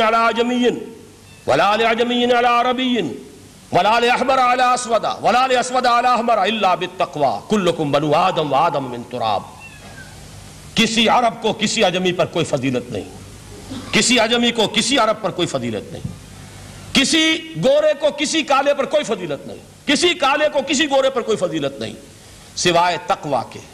तुम सबके सब आदम की औलाद हो और आदम मिट्टी से बनाए गए थे। ये अल्फाज लिखकर कहता है कि जहाँ तक human fraternity, equality and freedom, तीन अल्फाज नोट कीजिए। इंसानी हुर्रियत, इंसानी मुसावात इंसानी अखुवत कहता है, जहाँ तक इन तीन चीज़ों के वाज हैं, सरमंस का ताल्लुक है, वो तो दुनिया में पहले भी बहुत कहे गए ईसाई होने के बावजूद खास तौर पर नाम लेता है जीजस ऑफ़ नजारत। सरमंस तो हज़रत मसीह के यहाँ भी बहुत मिल जाएँगे, कि तमाम इंसान बराबर हैं, सबको भाई भाई होना चाहिए, सब इंसान आज़ाद हैं, तमीज बंदा वाका फसाद आदमीयत है। लेकिन वो कहता है कि यह मानना पड़ता है, तारीख इंसानी में पहली मरतबा इन उसूलों पर एक इंसानी माशरा कायम किया मोहम्मद ने सल्लल्लाहु अलैहि वसल्लम। यानी हुजूर के साथ ये मामला एम्प्टी स्लोगन्स का नहीं है। ये सिर्फ़ वाज नहीं है, ये सिर्फ़ सरमन्स नहीं है, ये एम्प्टी स्लोगन्स नहीं है। He translated these things into actuality एक हकीकत, एक वाक्य की शक्ल दी है मोहम्मद ने सल्लल्लाहु अलैहि वसल्लम। वो माशरा पैदा किया, जिसमें इंसानी अखुवत, इंसानी मुसावात और इंसानी हुर्रियत, ये तीनों अकदार बतमाम कमाल मौजूद थी। यही वजह है इस सदी में नोट कीजिए। गांधी जी, मोहनदास करमचंद गांधी, जिसको आज पूरी दुनिया में तस्लीम किया जाता है, आलम अरब में भी, महात्मा गांधी की बड़ी इज़्ज़त है। पंडित नेहरू का किसी जमाने में इस्तकबाल हुआ था रियाज में तो हमें बहुत गुस्सा आया था कि मरहम रसूल सलाम, welcome to the prophet of peace. ये अल्फाज थे कि जिनसे पंडित नेहरू का इस्तकबाल हुआ था। गुस्सा हमें बहुत आया, ये रसूल का लफ्ज इस्तेमाल कर दिया इन्होंने। बाद में हमने सोचा, भाई रसूल के मानी उनके यहाँ एलची के हैं। तो उन्होंने इसको अपनी जो भी गलती में समझा या सही समझा, इसको छोड़ दीजिए, मैं कोई सियासी गुफ्तु नहीं करना चाहता। उन्होंने समझा कि यह शख्स इस वक्त अमन का पैगाम बर है, लिहाजा उसको वेलकम किया। है बहरहाल, गांधी जी का जहाँ तक मामला है, आपके इल्म में है कि पूरी दुनिया में उस शख्स की अजमत को तस्लीम किया गया है। हमारा मामला हिंदुस्तानी मुसलमानों का मामला यह दूसरा है। वो तो आपको मालूम है कि जूता जिसे काटता है, उसे पता चलता है कि जूती काट रही है। वरना देखने वाले को पता चलेगा, बड़ा खूबसूरत जूता है, बड़ा उमदा जूता है, कोई इसमें खराबी नहीं है। लेकिन जिसे वो पिंच कर रही है, उसे पता है कि यह है क्या। इस एतबार से हमारा मामला अलहदा है, लेकिन दुनिया को बहुत खूबसूरत और बहुत ही आला और बहुत ही ऊँची शख्सियत एक नज़र आती है। बहरहाल, एक पहलू से यकीन मानना पड़ेगा उसकी अजमत को, कि हिंदू कौम के लिए और हिंदुस्तान के लिए उसकी आज़ादी के लिए जो अजीम जद्दोजहद की है, इसमें कोई शक नहीं। मैं इस वक्त जो बात अर्ज़ करना चाहता हूँ कि उन्नीस सौ सैंतीस का तस्वुर कीजिए। उन्नीस सौ सैंतीस में आपको मालूम है 1935 में कानून बना था। और पहली मरतबा इलेक्शन हुए थे बर्र सगीर में 1937 में। और वो हुए थे सूबाई इलेक्शन उनके नतीजे में वजारतें कायम हुई। मुस्लिम लीग ने बाइकआउट किया था इलेक्शन को। लिहाजा पूरे हिंदुस्तान में, तमाम सूबों में कांग्रेस के वजरा की वजारतें बनी। हरिजन अखबार में एक मकाला लिखा था गांधी जी ने उस वक्त, जिसमें कि उन कांग्रेसी वजरा के सामने नसीहत के अंदाज में यह बात रखी थी कि आज जबकि आप लोगों को इख्तियार मिल रहा है, और हुकूमत ये पहली इंस्टॉलमेंट थी जो अंग्रेज़ों ने दी थी हमें सेल्फ रूल या होम रूल की पहली इंस्टॉलमेंट थी। तो जो भी तुम्हें इख्तियार मिल रहे हैं, इसमें मैं तुम्हारे सामने हज़रत अबू बकर और हज़रत उमर की मिसाल रखता हूँ। यह है वो बात कि जादू वो जो सर चढ़ कर बोले अरबी में कहते हैं, अल्फजल मा शहदत बिहिल आदा, असल फजीलत वो है जिसका कि दुश्मन एतराफ करे। महात्मा गांधी अगर एतराफ कर रहा है कि तारीख इंसानी की अजीम तरीन शख्सियतें, हुकूमत की सतह पर वो अबू बकर और उमर हैं तो अबू बकर और उमर किस दरख्त के फल हैं? वो शजर तैयबा शजर नबूवत है कि जिसके फल है अबू बकर और उमर, जिनको तरबियत दी है मोहम्मद ने सल्लल्लाहु अलैहि वसल्लम। तो मालूम हुआ कि ये चीज़ें वो हैं कि जिसका लोहा आज दुनिया मान रही है। लिहाजा हमें कुरान मजीद के एजाज के पहलू से, इन एतबार से खुद भी तवज्जो करनी चाहिए और दुनिया को भी उधर मुतवजह करना चाहिए। अब मैं तबर्रकन तीन मकाम से मैंने आयात पढ़ी हैं। कुरान मजीद की अजमत का वो इदराक और शूर जो हमें हो सकता है। हम वो कि जो कुरान को मानते हैं अल्लाह का कलाम। हम उस बुनियाद पर समझे कि अल्लाह ने अपने कलाम की क्या मदह की है। और नंबर दो ये, फारसी का एक मिसरा है कि कदर गौहर शाह दानत या बेदानत गौहरी। हीरे जवाहरात की कदर कीमत या बादशाहों को मालूम होती है जो उनमें खेलते हैं। और या ये कि जौहरी को जो उनका कारोबार करता है, जानता है, पहचान है, परखता है। आम आदमी को क्या पता उसके हाथ पे अगर कोई आप हीरा रख दें, वो समझे शायद को कोई कांच का टुकड़ा है उसे उसके अंदर कोई फ़र्क महसूस नहीं होगा। कदर गौहर शाह दानद या दानद गौहरी, के हीरे जवाहरात जो है, उनकी कदर कीमत का अंदाज़ा या बादशाहों को होता है, या जौहरी को होता है। तो कुरान मजीद का अजमत का सही इदराक, या अल्लाह को है या मोहम्मद रसूलुल्लाह को है। सल्लल्लाहु अलैहि वसल्लम, बाकी जो कुछ दुनिया देखती है, वो तो वो ज़ाहिर का एक पहलू है। वो तारीखी हकायक हैं जो मैंने आपके सामने रखे बाकी कुरान मजीद की अजमत का कोई सही सही इदराक हो सकता है। या वो अल्लाह ताला की ज़ुबानी और या होगा मोहम्मद रसूलुल्लाह सल्लल्लाहु के फरामीन की रूह से। इसीलिए मैंने तीन जगह से आयात पढ़ी हैं। एक मकाम से सूरह रहमान की इब्तदाई चार आयात, सूरह यूनुस की दो आयात, सूरह हश्र की एक आयत। और तीन अहादीस नबियाँ हैं जिनका मैंने ज़िक्र किया है। इसलिए कि तीसरी जो है वो बहुत तवील हदीस है, वो पूरी मैं इस वक्त नहीं पढ़ सकता था। उसके सिर्फ़ इब्तदाई और आखिरी कलिमात मैंने इस वक्त आपको सुनाए। मैं थोड़ी सी तशी उनकी करूँगा ताकि कुरान मजीद की अजमत का जो नक्श मेरे और आपके कल्ब पर होना चाहिए। वो सही सही दर हकीकत इन आयात और अहादीस की रोशनी में हमारे दिलों पर कायम हो जाए। देखिए, कुरान मजीद की अजमत ये कलाम है। इसकी कलाम की अजमत का पहला पहलू है मुतकलम की अजमत के एतबार से। अरबी में कहा जाता है कि कलामुल मुलूक मुलूकुल कलाम है बादशाहों का कलाम कलामों का बादशाह होता है। बादशाह जब गुफ्तगु करेगा, मालूम होगा शाहाना अंदाज है। एक कोई भिकारी गुफ्तगु करेगा या कोई कोई कुजरा गुफ्तगु करेगा, सब्ज़ी फरोश करेगा, कोई मछली फरोश करेगा, हर एक का पता चल जाएगा कि कौन बोला वो जिसको कहते हैं कि तांत बाजी राग पाया। दो जुमले कोई शख्स बोलेगा, पता चल जाएगा कितने पानी में है। इसके इल्म का, फजल का, तहजीब का, तमद्दुन का क्या मैार है। इसलिए कि कलाम जो है दर हकीकत मुतकलम की पूरी शख्सियत की अक्कासी करता है। इसका मकाम क्या है, इसका मरतबा क्या है, इसके जहन की बुलंदी क्या है, इसके फ़िक्र की गहराई क्या है, इसके उफक जहनी की वसत क्या है, इस सब का अंदाज़ा होगा कलाम से। तो अब यह कलाम है अल्लाह का। मालूम हुआ कि अल्लाह की सिफात का एक कामिल अक्स कुरान मजीद में मौजूद है। यह बात समझिए।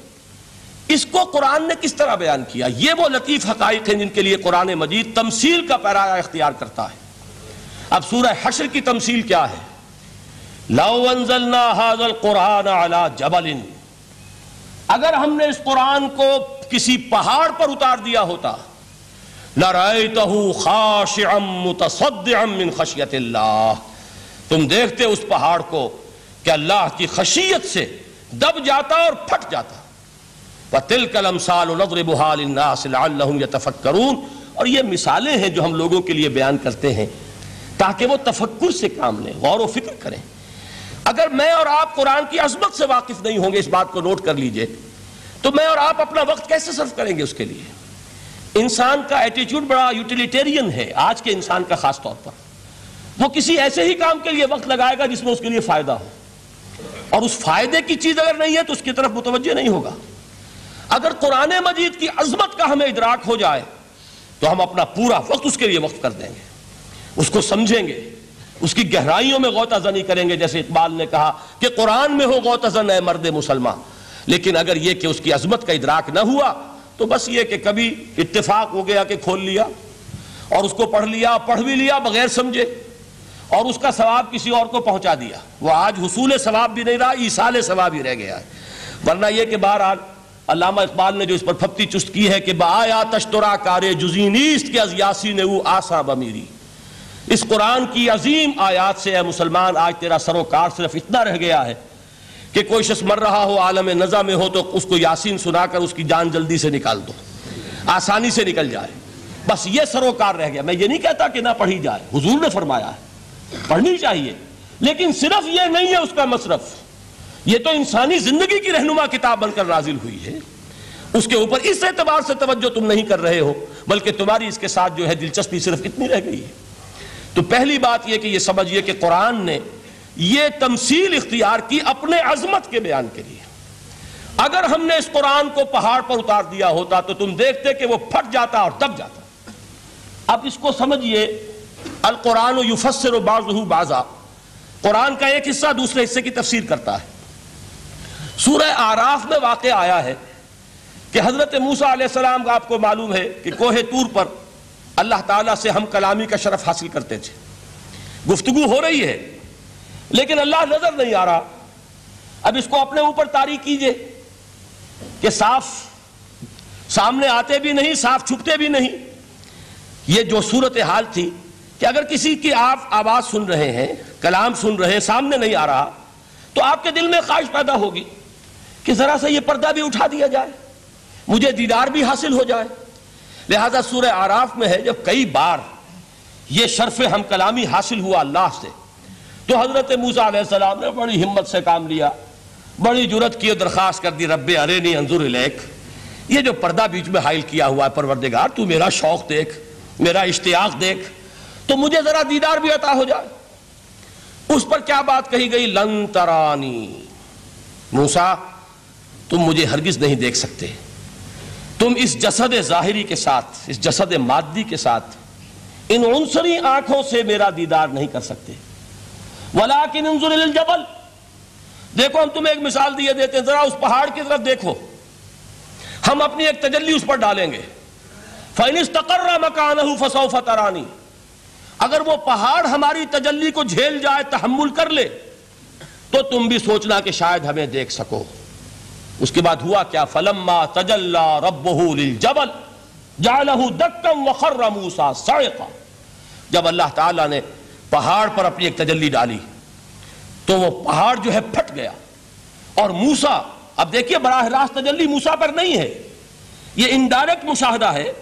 तजल्ली रब्बानी का, कि जो पहाड़ पर हुई है और पहाड़ की जो कैफियत हुई है, उसके मुशाहदे से हज़रत मूसा बेहोश होकर गिर गए। वसा मूसा, खर्रा मूसा सायका। ये है वो मिसाल जो यहाँ दी है कुरान के लिए।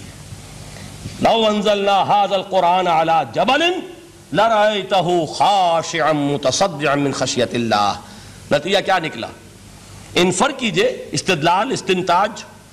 नतीजा यह निकला कि जो तासीर तजल्ली ज़ात रब्बानी की है वही तासीर कलाम रब्बानी की है। सिर्फ़ यह है कि हमें उसका शूर नहीं, हमें उसके उसका इदराक नहीं। ये बिल्कुल ज़ात की तजल्ली की जो तासीर थी, वही कुरान खुद बयान कर रहा है कि इस कलाम रब्बानी की भी। इसको भी अल्लामा इकबाल ने खूब कहा है। फाश गोयम आंचे दर दिल मुजमरस्त। साफ़ कह देता हूँ जो कुछ मेरे दिल में है। इन किताबें नीस, चीज़ें दीगरस्त। इसे किताब ना समझ बैठना कुरान को। ये किताब नहीं है, कुछ और है। कुछ और क्या है? मिसले हक पिन्हाओ हम पैदास्तू जिंदो पाइंदो गोयास्तू। ये तो जैसे अल्लाह ताला की जात है, मिसले हक। जात हक सुबह हुआ ताला की तरह ये ज़िंदा है, पाइंदा है। मिसले हक पाइंदा गो यास्तु ये जो है ज़िंदा है, ये मुतकलम है, कलाम नहीं है। कुल सिफात रब्बानिया जो है, ज़ाहिर और बातिन। मिसल हक पिन्हा ज़ाहिर पिन्हा। और हई कयूम जैसे अल्लाह की ज़ात है, वही सिफात इस कलाम की है। और उसके बाद वो शेर आया था जो मैं पहले सुना चुका हूँ। चू बजा दर्रफ्त जहाँ दीगर शब्द। जब यह कुरान किसी इंसान के अंदर सरायत कर जाता है, उसके दिल पर नाजिल होता है। देखिए, ये अल्फाज आपको कहीं और नहीं मिलेंगे। मेरे नज़दीक जहाँ अल्लामा इकबाल इस दौर में कुरान की अजमत का सबसे बड़ा सबूत है। वहाँ अजमत कुरानी के सबसे ज़्यादा वाकिफ और उसका सबसे ज़्यादा शूर रखने वाले भी अल्लामा इकबाल हैं। ये अल्फाज आपको कहीं नहीं मिल सकेंगे कि मिसल हक पिन्हाओ हम पैदास्तू ज़िंदा पाइंदो गोयास्तू, चू बजा दर्रफ्त जहाँ दीगर शवद, जहाँ चू दीगर शुद्ध, जहाँ दीगर शवद। जब ये इंसानों के अंदर सरात कर जाता है उनके अंदर एक इनकलाब आ जाता है। और ये अंदर का इनकलाब है जो एक आलमी इनकलाब का पेश खैमा बनता है। आप ऑर्डिनेंस के ज़रिए से नमाजें पढ़वाएँगे तो फिर नमाज़ वही पढ़ी जाएगी जो ऑफ़िस टाइम में आएगी। बाकी और क्यों पढ़ेंगे? वो तो ऑर्डिनेंस के ज़रिए से पढ़ाई जा रही है ना। उसका हशर तो वो होगा जो हमारे यहाँ देखा जा चुका है। और उस वक्त भी उस जमाने में मैंने ये सुना एक जगह कि क्लास फोर एम्प्लॉज जो हैं वो शुरू शुरू में जब ऑर्डिनेंस नाफिज हुआ था हमारे यहाँ तो दफ्तरों में बड़ा अहतमाम हुआ ऑफिसर्स ने खास तौर पर बड़े अहतमाम से जोहर की नमाज़ पढ़नी शुरू की। लेकिन मुझे बताया गया कि क्लास फोर एम्प्लॉज जो हैं, हमारे ये ड्राइवर्स हैं पियंस हैं, ये खड़े हँसते रहते हैं, शरीक नहीं होते। मैंने उनसे कहा, वो इसलिए कि इन्हें मालूम है कि आप भी तो यही पढ़ रहे हैं सिर्फ़ नमाज़। बाकी आपके ड्राइवर से और आपके खानसामा से ये बात छुपी हुई नहीं है कि असर आपने भी नहीं पढ़नी। ये सिर्फ़ ज़ोर है जो आप पढ़ रहे हैं। तो ये असल में अंदर का इनकलाब जब तक ना आए, बाहर का ठूसा हुआ इनकलाब, वो तो जब प्रेशर हट जाएगा, तब्दीली खत्म हो जाएगी। चू बजा दर्रफ्त जहाँ दीगर शब्द अंदर इनकलाब आए, जब अंदर तब्दीली हो जाएगी, अब इंसान का पूरा वजूद बदलेगा। फिर उसके अंदर से तब्दीली जो है वो उभरेगी। उसे किसी खारजी दबाव की ज़रूरत नहीं होगी। जहाँ चु दीगर शुद्ध, जहाँ दीगर शब्द। और जब इंसानी शख्सियतों के अंदर यह इनकलाब अंदर से आता है तो फिर वो आलमी इनकलाब बनता है। जैसे कि मोहम्मद रसूलुल्लाह का इनकलाब। वाक़ यह है कि अगर जूश कॉन्स्पिरेसी अब्दुल्ला इब्ने सबा की साजिश अगर कामयाब ना हो गई होती और मुसलमानों के अंदर आपस का इख्तलाफ और सरफटवल ना हो जाता, जो हज़रत उस्मान की शहादत, फिर हज़रत अली की शहादत रज़ी अल्लाह तुमा और हज़रत अली की दौरान खिलाफत या आपस के जो जंगें हुई, जंग जमल, जंग सिफीन, जंग नहरवान, अगर ये ना हुई होती। तो जिस जिस स्पीड के साथ और रफ्तार के साथ इनकलाब मोहम्मदी की तोसी हो रही थी, अला साहिब सलाम कोई ताकत दुनिया में नहीं थी। इकबाल ने इसका भी नक्शा खींचा है कि थमता न था किसी से, सैले रवा हमारा। वो सैले रवा था, कोई रोकने वाला नहीं था। इंटरनल सेबोटाज वो है कि जिसने उस, इस इनकलाब का रास्ता रोका है। तो वाकया ये है कि वो अंदरूनी इनकलाब हजूर ने बर्पा किया कुरान के ज़रिए साहबा में। अंदर से जो इनकलाब था उसने अरब में एक इनकलाब की शक्ल इख्तियार की। और यह इनकलाब जो है, इतनी अपने अंदर कुत रखता था, इतनी पोटेंशियलिटी थी उसकी, कि वो 20 बरस के अंदर अंदर कहा ऑक्सस, दरियाए जी हूँ कहा एटलांटिक तस्वुर तो कीजिए। तारीख में उससे पहले इतनी बड़ी कोई ममलकत कायम हुई नहीं। कहा यमन और कहा एशिया कोचक, एशिया माइनर टर्की, यहाँ से वहाँ और वहाँ से यहाँ इतनी अजीम ममलकत हज़रत उस्मान रज़ी अल्लाह तु के खिलाफत में हो चुकी थी। ये बात अगर ये चलता मामला आगे तो कोई कुत अब नहीं रही थी। सल्तनत रोमा खत्म हो चुकी थी। सल्तनत किसरा खत्म हो चुकी थी? पक्ष से उड़ गए थे। अब कौन सी ताकत रह गई थी जो सैलाब का रास्ता रोकती? ये वो यहूदी साजिश है जिसने अंदर से सेबोटाज किया। बहरहाल, ये है इनकलाब मोहम्मदी का तरीका, अंदर से तब्दीली। इसी को अल्लामा इकबाल ने कहा है, तेरे जमीर पे जब तक न हो नजूल किताब गिरा कुशा है, न राज़ी, न साहिब कशाफ ये कुरान अब भी तुम ऐसे महसूस करो कि जैसे तुम्हारे दिल पर नाजिल हो रहा है। और मुझे याद आया, इमाम इब्न कैम रहमत उनका एक बड़ा प्यारा जुमला है। वो कहते हैं, कुरान के बाद पढ़ने वाले ऐसे हैं कि जब वो कुरान को पढ़ते हैं तो यूँ महसूस करते हैं कि कुरान मुसहफ में लिखा हुआ नहीं है, उनके अपने दिल के ऊपर कंधा है। दिल के ऊपर से पढ़ रहे हैं, यानी इतनी कामिल मुताबिकत वो महसूस करते हैं, अपनी फितरत ह्यूमन नेचर और कुरान के अंदर इतनी मुताबिकत है, इस तरह वो टैली करते हैं एक दूसरे के साथ, कि महसूस होता है कि वो किताब इन सफ़ात में लिखी हुई नहीं है, बल्कि लौहे कल्ब पर लिखी हुई है कि जहाँ से वो इंसान उसे पढ़ रहा है। तो पहली बात तो कुरान मजीद की शायद के हवाले से, इस पहलू से हमारे सामने आई कि जो तासीर है ज़ात रब्बानी की तजल्ली की वही तासीर है इस कुरान मजीद की। बशर्ते के हमारे दिल जो हैं, वो कुछ अपने अंदर उस इस्तेदाद और सलाहियत को पैदा कर लें। दूसरा मकाम है सूर्य यूनुस का। अब किसी कलाम की अजमत का दूसरा पहलू हो सकता है उसकी इफादियत के एतबार से। उससे फ़ायदा क्या होगा? नौ इंसानी के लिए। देखिए दो आयात, ये अजीम खजाने हैं अजमत कुरान के सूर्य यूनुस में। या युहन्नास ए लोगो कद जात रब कुम व शिफाउन माफ़ी सुदूर व हुदम व रहमतुल्लिलमोमिनीन चार अल्फाज नोट कर लीजिए ए लोगो आ गई है तुम्हारे पास वो चीज़ तुम्हारे रब की तरफ़ से जो मुआवजा है मुआवजा किसे कहते हैं नसीहत इस बात को जरा समझ लीजिए तरतीब क्या है नसीहत उसे कहते हैं जी रहा नहीं जा रहा मैंने उसकी तरतीब बदली हुई है मुझे याद दिलाया एक साहब ने कि सूरह रहमान की इब्तदाई आयात का बयान तो रह गया। वो रहा, नहीं, मैंने पढ़ा किसी और तरतीब से था, बयान किसी और तरतीब से कर रहा हूँ। पढ़ने में चार, दो और एक, और अब जो मैं बयान कर रहा हूँ, पहले एक आयत सूरह हशर की जो बयान की, अब दो आयात है सूरह यूनुस की। लोगों, तुम्हारे पास आ गई है तुम्हारे रब की तरफ़ से मुआवजत और तुम्हारे सीनों के अंदर जो रोग हैं, उनके लिए इलाज। तवज्जो कीजिएगा। हमने कुरान को क्या समझा है? सिर्फ़ एक मुकदस किताब, एक हसूल सवाब या इसाल सवाब का आला। कुरान है क्या? नंबर एक मुआवजा मुआवजा किसे कहते हैं? वाज उसे कहते हैं, वो बात जिससे दिल नर्म हो जाए। दिल के अंदर गुदास पैदा करने वाली शे वजह क्या है? आला से आला हकीमाना बात किसी से कही जाए, दिल सख्त है, असर नहीं होगा। एक क्रस्ट आ जाता है इंसान के दिल के ऊपर। जैसे कि यहूद के उलमा के बारे में फरमाया गया सुम कसत कलूबकुम फहिया कल हिजारत वशद कसवा।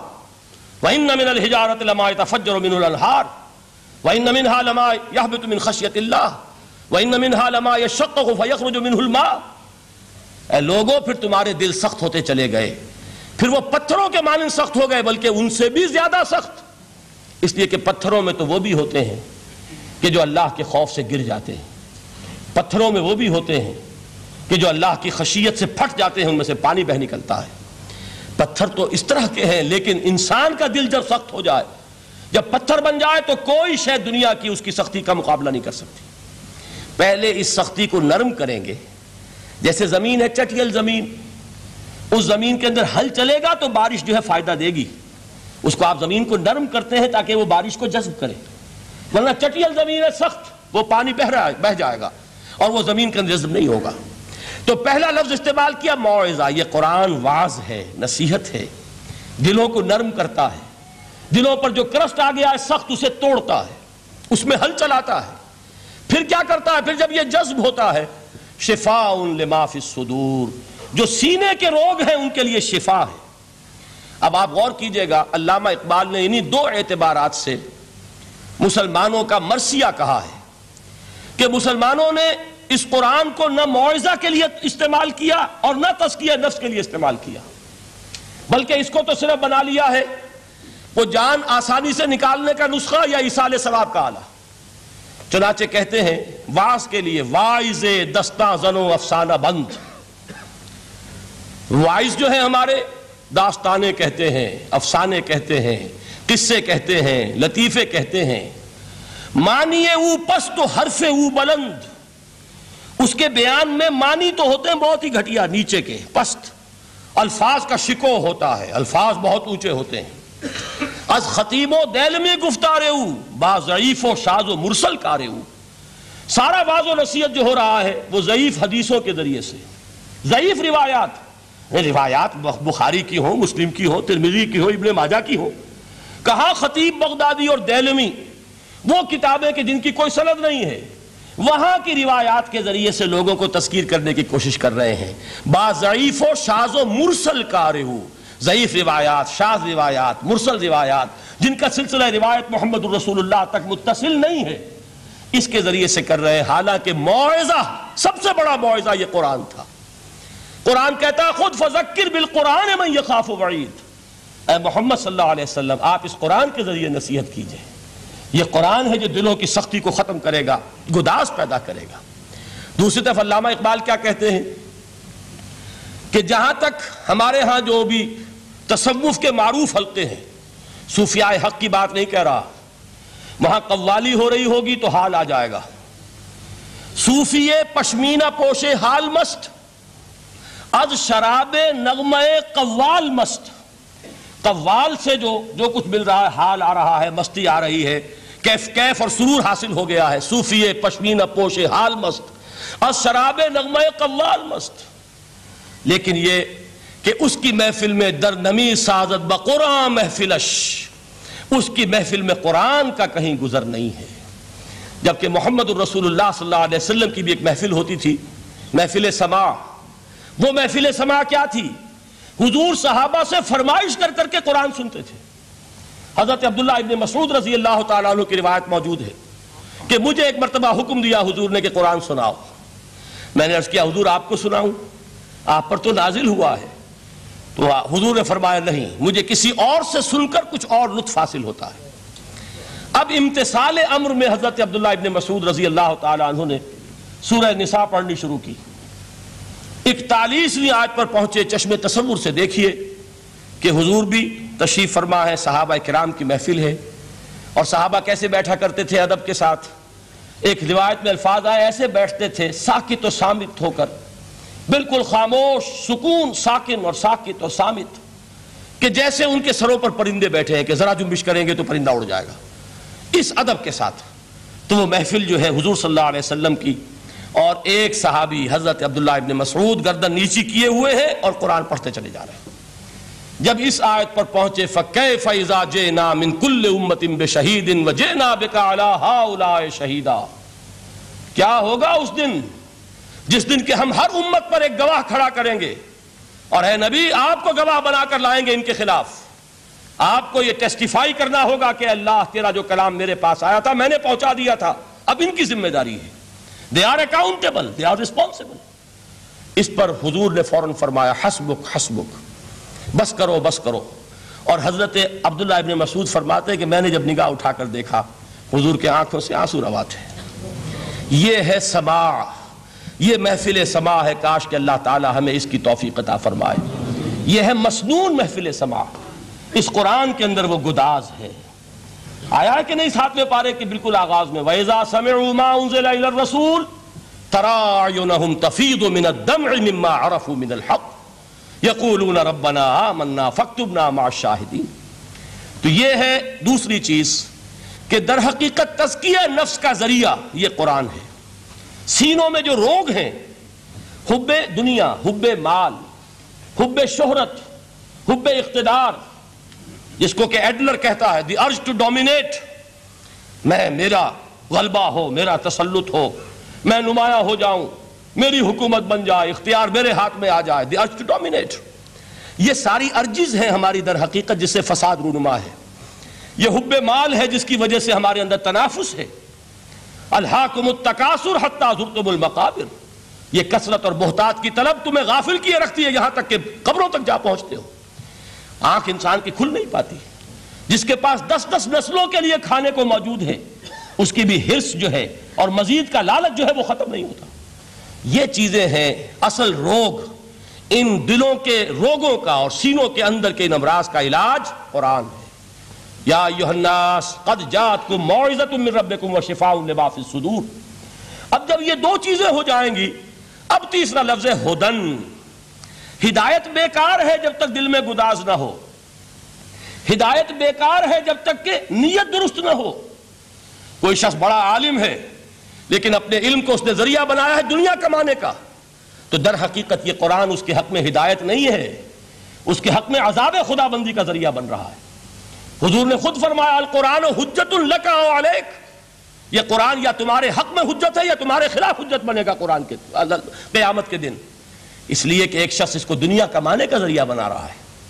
एक शख्स इसको शोहरत के हसूल का ज़रिया बना रहा है। एक शख्स इल्म को ज़रिया बना रहा है दुनिया में नुमाया होने का, अपनी तारीफ़ का। हुजूर ने फरमाया कि क़यामत के दिन सबसे पहले तीन अफराद का मामला पेश होगा, अदालत खुदाबंदी में।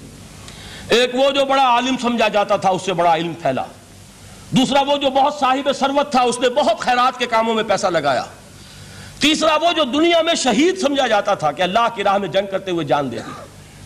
अल्लाह इन तीनों से जो उसको नेमतें दी थी, उनका ज़िक्र करके पूछेगा कि मैंने तुम्हें यह दिया, तुम्हें यह दिया, तुम्हें यह दिया, तुम क्या करके लाए? वो शहीद कहेगा कि अल्लाह, मैंने तेरी राह में जंग की और अपनी जान दे दी। ताकि तू राज़ी हो जाए। अल्लाह फरमाएगा कजबता तूने झूठ बोला। इन तूने तो एक जंग इसलिए की थी कि कहा जाए कि बड़ा जरी है, बड़ा बहादुर है। ये लोगों से बहादुरी के तमगे लेना तुम्हारा मकसूद था। वह कद कीला, वो कहा जा चुका है। अब यहाँ तुम्हारे लिए कुछ नहीं। और फरिश्तों को हुक्म होगा और वो ओंधे मुँह उसको घसीटते हुए जहन्नम में झोंक देंगे। दुनिया में शहीद समझा जा रहा है, आखिरत में जहन्नमी है। यही हाल उस आलिम का होगा, यही हाल उस दौलतमंद का होगा। तुमने ये इल्म फैलाया था कि तुम्हारे इल्म का चर्चा हो जाए, तुम्हारी शोहरत हो जाए। लोग तुम्हारी दस्तबोसी करने लगे, लोग तुम्हारे तुमसे झुककर मिले। वो दुनिया में हो गया, तुम्हारा मकदूब मिल चुका। तुम्हारा मकसूद हासिल हो चुका, अब यह कुछ नहीं। तो जान लीजिए कि जब तक दिलों के रोग दुरुस्त न हो, इल्म बेकार है, हिदायत कतन गैर मुफीद है। पहले दिलों का क्रस्ट उतरे, उसकी सख्ती दूर हो यह है मुआवजा दिलों के अंदर से हुब्बे जा, हुब्बे दुनिया, हुब्बे माल निकले यह है तजकिया। शिफाउन माफ़ी सुदूर, अब हिदायत खुदाबंदी। अब रास्ता आप देखेंगे और उस रास्ते पर चलेंगे। यह हिदायत जो है दुनिया में, यही आखिरत में रहमत की शक्ल में ज़ाहिर होगी। जिन्होंने इस कुरान की हिदायत से फ़ायदा इस दुनिया में उठाया, आखिरत में रहमत खुदाबंदी की बदलियाँ उन पर साय करेंगी। एक हदीस में तो बाकायदा अल्फाज आए हैं कि सूरह बकरा और सूरह आल इमरान, ये दो बदलियों की सूरत में ज़ाहिर होंगी मैदान हश्र में और उन लोगों पर साया करेंगी कि जिनको इनसे बड़ी मोहब्बत थी। ये चार अल्फाज नोट कर लीजिए इसी तरतीब के साथ। या युहन्नास कदजात कुम मोइज़तुम मिन रब्बिकुम व शिफाउन लिमा सुदूर व हुदम व रहमतुल्लिल कुल बेफजल्लाह व बेरहमतिही है नबी कह दीजिए, ये अल्लाह का बड़ा फजल है, लोगों, समझो। उसकी बड़ी रहमत का जहूर हुआ है इस कुरान की शक्ल में। उसकी रहमत का मजहर अतम कुरान है, उसके फजल का सबसे बड़ा सबूत कुरान है। फब जाले का फल यफरहू इस पर उन्हें खुशियाँ मनानी चाहिए।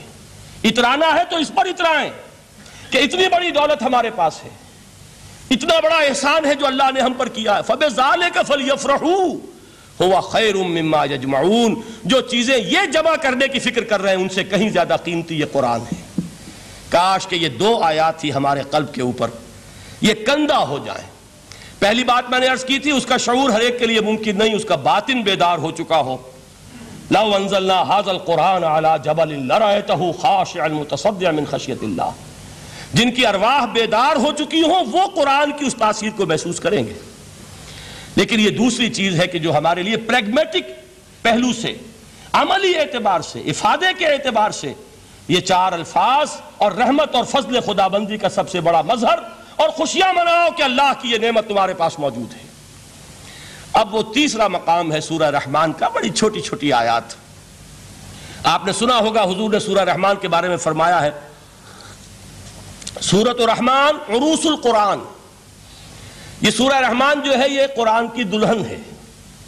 जैसे दुल्हन को आप खुशनुमा लिबास पहनाते हैं, आरास्ता पैरास्ता, उसको गहने और उसको जेवर पहनाते हैं। तो जिस तरीके से सजाते हैं आप दुल्हन को, अल्लाह ताला ने एक सूरत कुरान मजीद में ऐसी रखी है, सूरह रहमान के, उसे खूब सजाया है। इसमें अल्फाज का दरोबस्त, इसका अपना एक डिवाइन म्यूज़िक है। वो तो अल्लाह ताला कुर्रा जो है ख़ास तौर पर मिस्र के कुर्रा। अल्लाह ताला उन पर रहमत नाजिल फरमाए, उनकी ख़ताओं से दरगुजर करे। जिस तरह कुरान के इंट्रेंसिक म्यूज़िक को इन्होंने वाजे किया है वाक़ यह है कि अगर ये लोग ना होते, शेख अब्दुल बासित मोहम्मद अब्दुल समद, शेख महमूद खलील हसरी, ये लोग कि जिन्होंने कुरान के इस गना म्यूज़िक ये लफ्ज़ जो है, आप हैरान ना हो कि मैं ये कुशा तोहिन कर रहा हूँ कुरान की। हुजूर ने ये लफ्ज़ इस्तेमाल किया है। तगन्नू, इस कुरान को अच्छी से अच्छी खुशलहानी के साथ पढ़ो। मल्लम तगन्ना बिल कुरान फलैसा मिन्ना। जो कुरान को बेहतर से बेहतर अंदाज में, अच्छी से अच्छी आवाज़ में खुशलहानी के साथ पढ़ने की कोशिश नहीं करता, वो हम में से नहीं है। बल्कि एक मरतबा हजूर, रात के वक्त आप गश्त पर थे, अपने साथियों के हालात मालूम करने के लिए। हज़रत अबू मूसा आशारी रज़ी अल्लाह तन एक साहबी हैं। उनके घर के पास से गुजर हुआ वो रात को तहजद पढ़ रहे थे। खड़े हुए कैफ के आलम में कुरान तिलावत कर रहे हैं। हुजूर को बहुत पसंद आई उनकी किरात। काफ़ी देर तक वहाँ खड़े सुनते रहे। अब उन्हें क्या पता कौन सुन रहा है? बिल्कुल इसी तरह समझ लीजिए, एक बात याद आई है। हुजूर फरमाते हैं कि जिस तरह कान लगाकर अल्लाह कुरान को सुनता है, किसी चीज़ को नहीं सुनता। हमें नज़र नहीं आता ना। हमें मालूम नहीं है। हम कुरान पढ़ रहे हो तो सुनने वाला कौन है? सबसे ज़्यादा कान लगाकर खुद अल्लाह। यहाँ इसलिए मुझे याद आया कि अभी मूसा शरी को क्या पता था कि कौन सुन रहा है। वो अपनी कैफियत में, नमाज़ में तहजद में कुरान की तिलावत कर रहे थे। और ज़ाहिर बात है, उनके घर एकड़ों में बने हुए नहीं थे, एक एक कमरा, एक एक कोई हुजरा। ऐसे ही तो घर घर थे ना साहबा के। लिहाजा हुजूर पास से गुजरे, आवाज़ आई, काफ़ी देर सुनते रहे। उसके बाद आप तशरीफ़ ले गए, सुबह फजर में मुलाकात हुई। तो हुजूर ने तहसीन के अंदाज में फरमाया, या अबा मूसा इन का कदूती तमिजमारन मिन मजामिर आले दाऊद। अबू मूसा तुम्हें तो आले दाऊद के साजों में से एक साज अल्लाह ने अता फरमा दिया है। जिस तरह हज़रत दाऊद लहने दाऊदी मशहूर है कि जब वो पिछले पहर रात को हमद के तराने अलापते थे, कुरान में है कि परिंदे शामिल हो जाते थे साथ और पहाड़ वजद में आते थे। पहाड़ भी उनके साथ शरीक होते थे।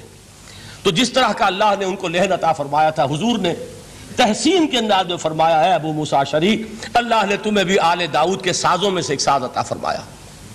बहरहाल कुरान मजीद का जो ये म्यूज़िक है, कुरान के अल्फाज का जो हुस्न है, जहाँ तक हुस्न मानवी है, वो तो हर हर लफ्ज में है।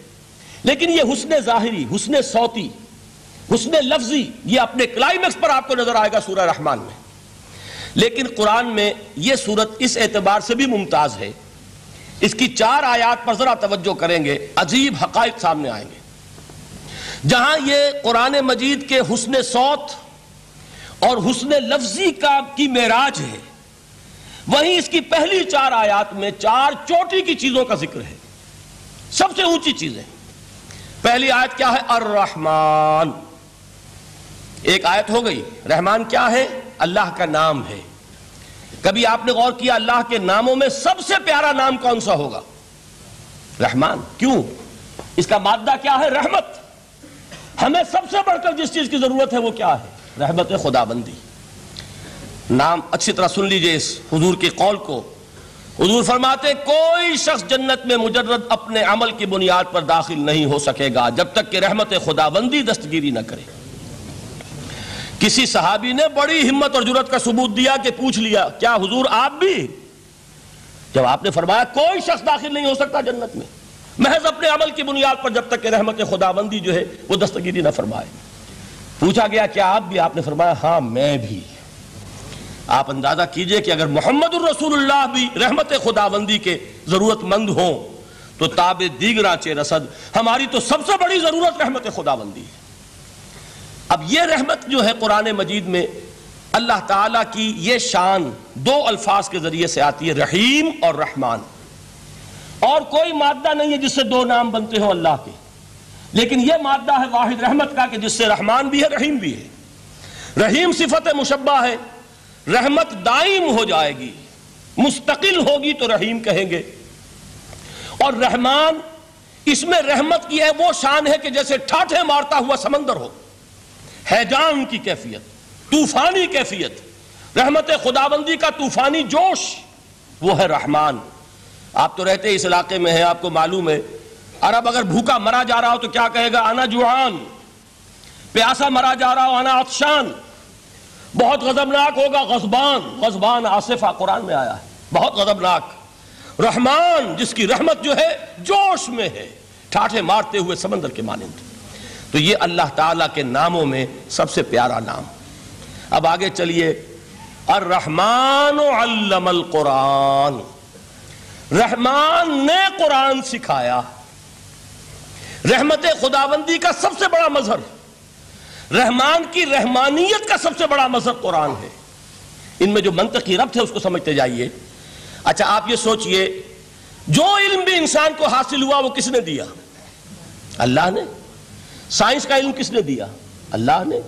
अल्लामा आदम असमा वो इल्म जो हज़रत आदम को दे दिया गया था अजल में, ये उसी का जहूर है। ये उसी की एक्सफोलिएशन है, जो हो रही है और होती रहेगी अभी। और दो और दूसरे इल्म है वो किसने दिए? अल्लाह ने दिए।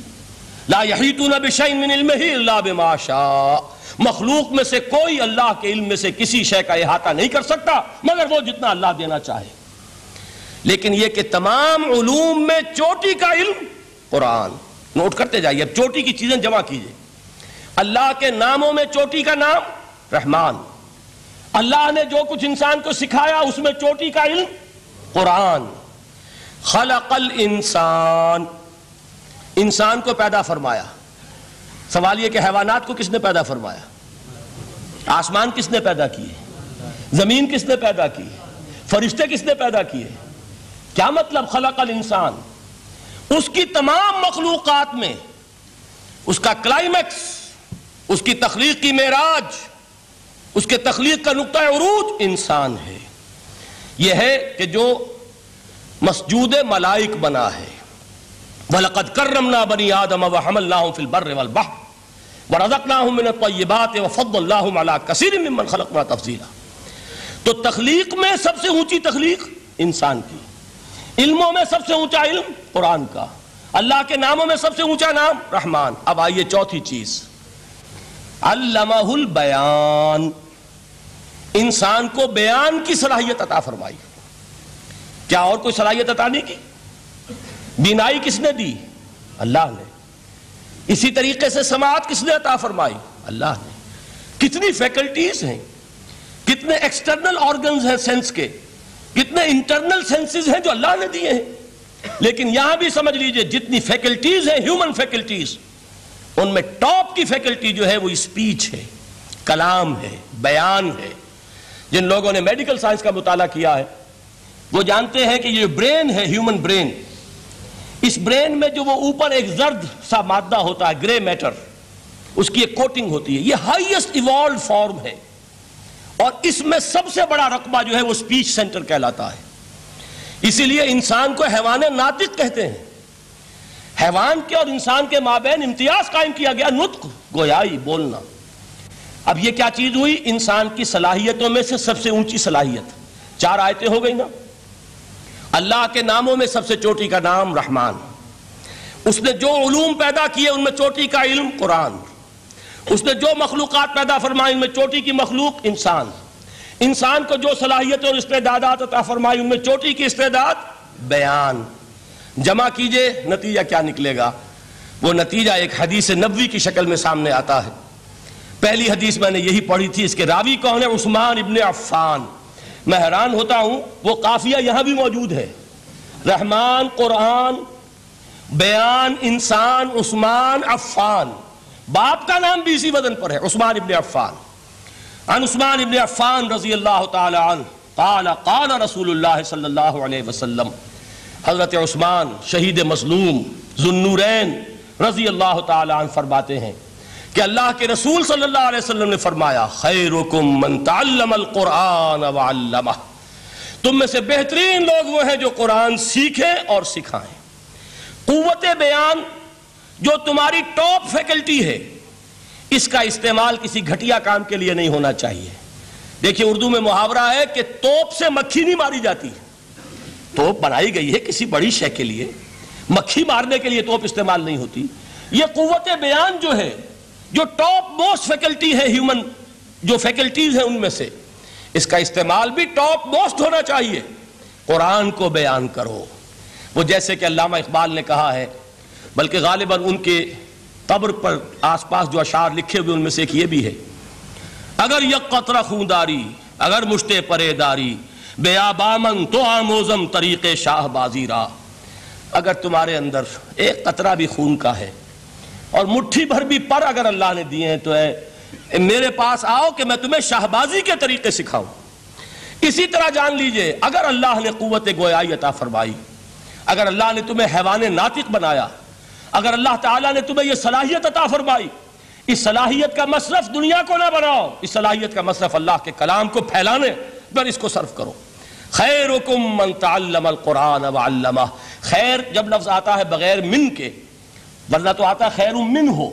तो ये होगी कंपेरेटिव जो एक एडजेक्टिव जो होती है।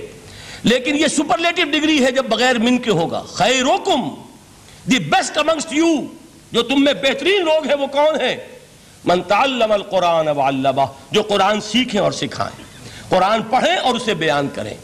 आज जान लीजिए, सबसे बड़ी ज़रूरत इस बात की है कि आज का कुरान पढ़ें। आप हैरान होंगे कि ये क्या कहा इसने। देखिए, कुरान उतरा है चौदह सौ बरस पहले। लेकिन ता क्याम क्यामत नौ इंसानी को जितने मसाइल दरपेश होंगे, उन सब का हल इसमें है। अलबत्ता खोदना पड़ेगा, गहराई में उतरना होगा। एक कुरान की सतह है। उस सतह नहीं, उसकी गहराइयों के अंदर गौताजनी करो। कुरान में हो गौताजन है मर्द मुसलमान। और आज का कुरान, यानी आज की हिदायत जो अल्लाह ने इसमें रखी हुई है डिग इट आउट इसको निकालो इसके अंदर से। अभी मैं हदीस तो आपको सुनाऊँगा, उसमें ये तस्वुर आएगा सामने और वाजे होकर।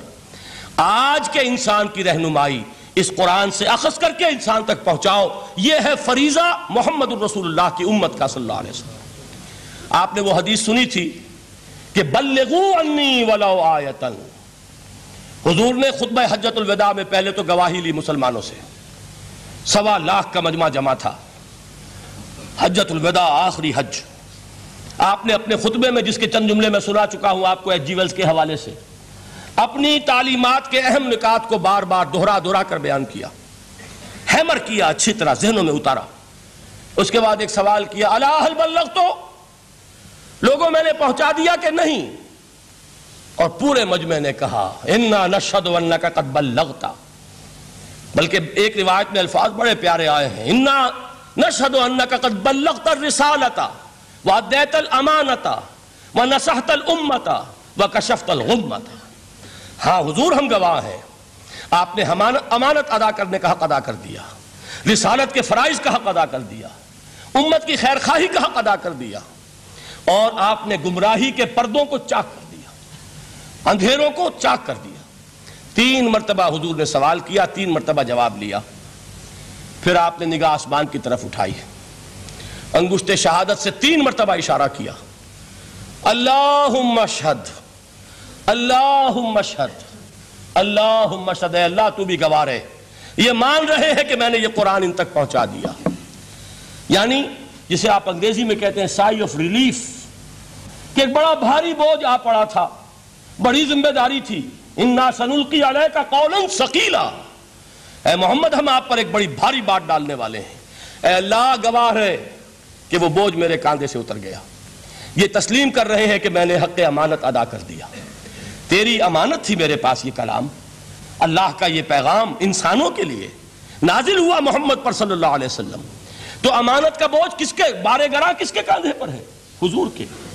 अगर अदा ना करते, अभी वो आपने आयत सुनी थी, या नबी, बल्लिग माउजिल फैलम तफल फमा या हर रसूल ए रसूल सल्लल्लाहु अलैहि वसल्लम, पहुँचा दीजिए जो कुछ नाजिल किया गया है आप पर आपके रब की तरफ़ से।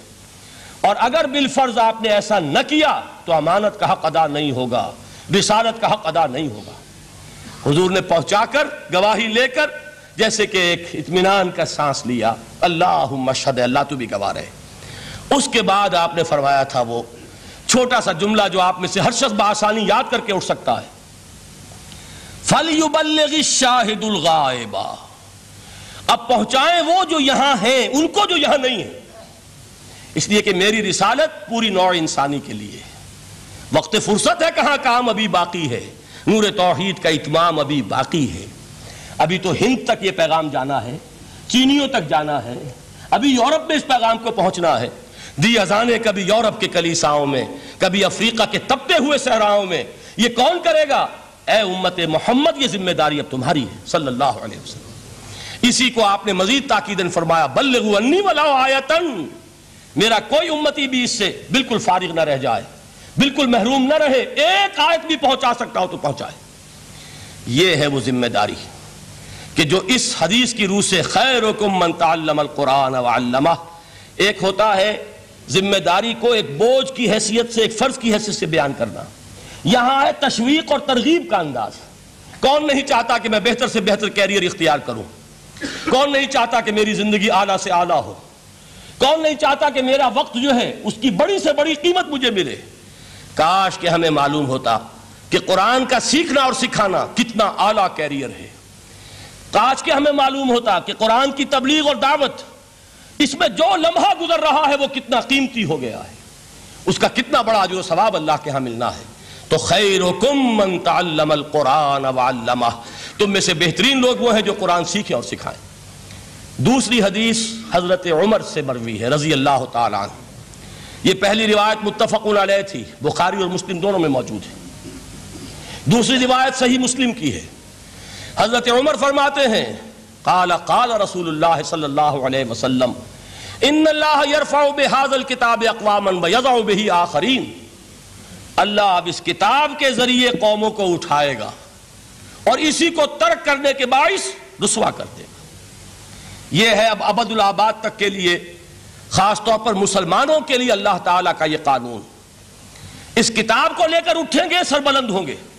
इस किताब को पीठ दिखाएँगे, जलील कर दिए जाएँगे। ये गोया कि अब उम्मत मुस्लिमा की किस्मत जो है वो तुलेगी इस किताब की मीजान में। इसी में तय होगा कि इनके लिए उरूज हो या जवाल हो। इसी को वो जवाब शिकवा में अल्लामा इकबाल ने सादा तरीन अल्फाज में कहा था, वो जमाने में मुआज़ थे मुसलमान होकर, और तुम खार हुए तारीख कुरान होकर। फारसी में इसी को मफहूम को जो अदा किया है, जिस खूबसूरती से, उसका तो जवाब नहीं है। कि ए मुसलमान, खार अज महजूरी कुरान शुदी। तुम जो जलील खार हो गए हो दुनिया में। एक सवाल शायर ने कभी किया था ना? बड़ा प्यारा सवाल था। है, आज क्यों जलील के कल तक न थी पसंद? गुस्ताखी फरिश्ता हमारी जनाब में।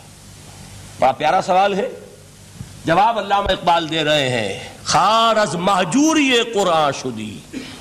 कुरान से ला ताल्लुक होने की बुनियाद पर तुम जलील रसवा हुए हो।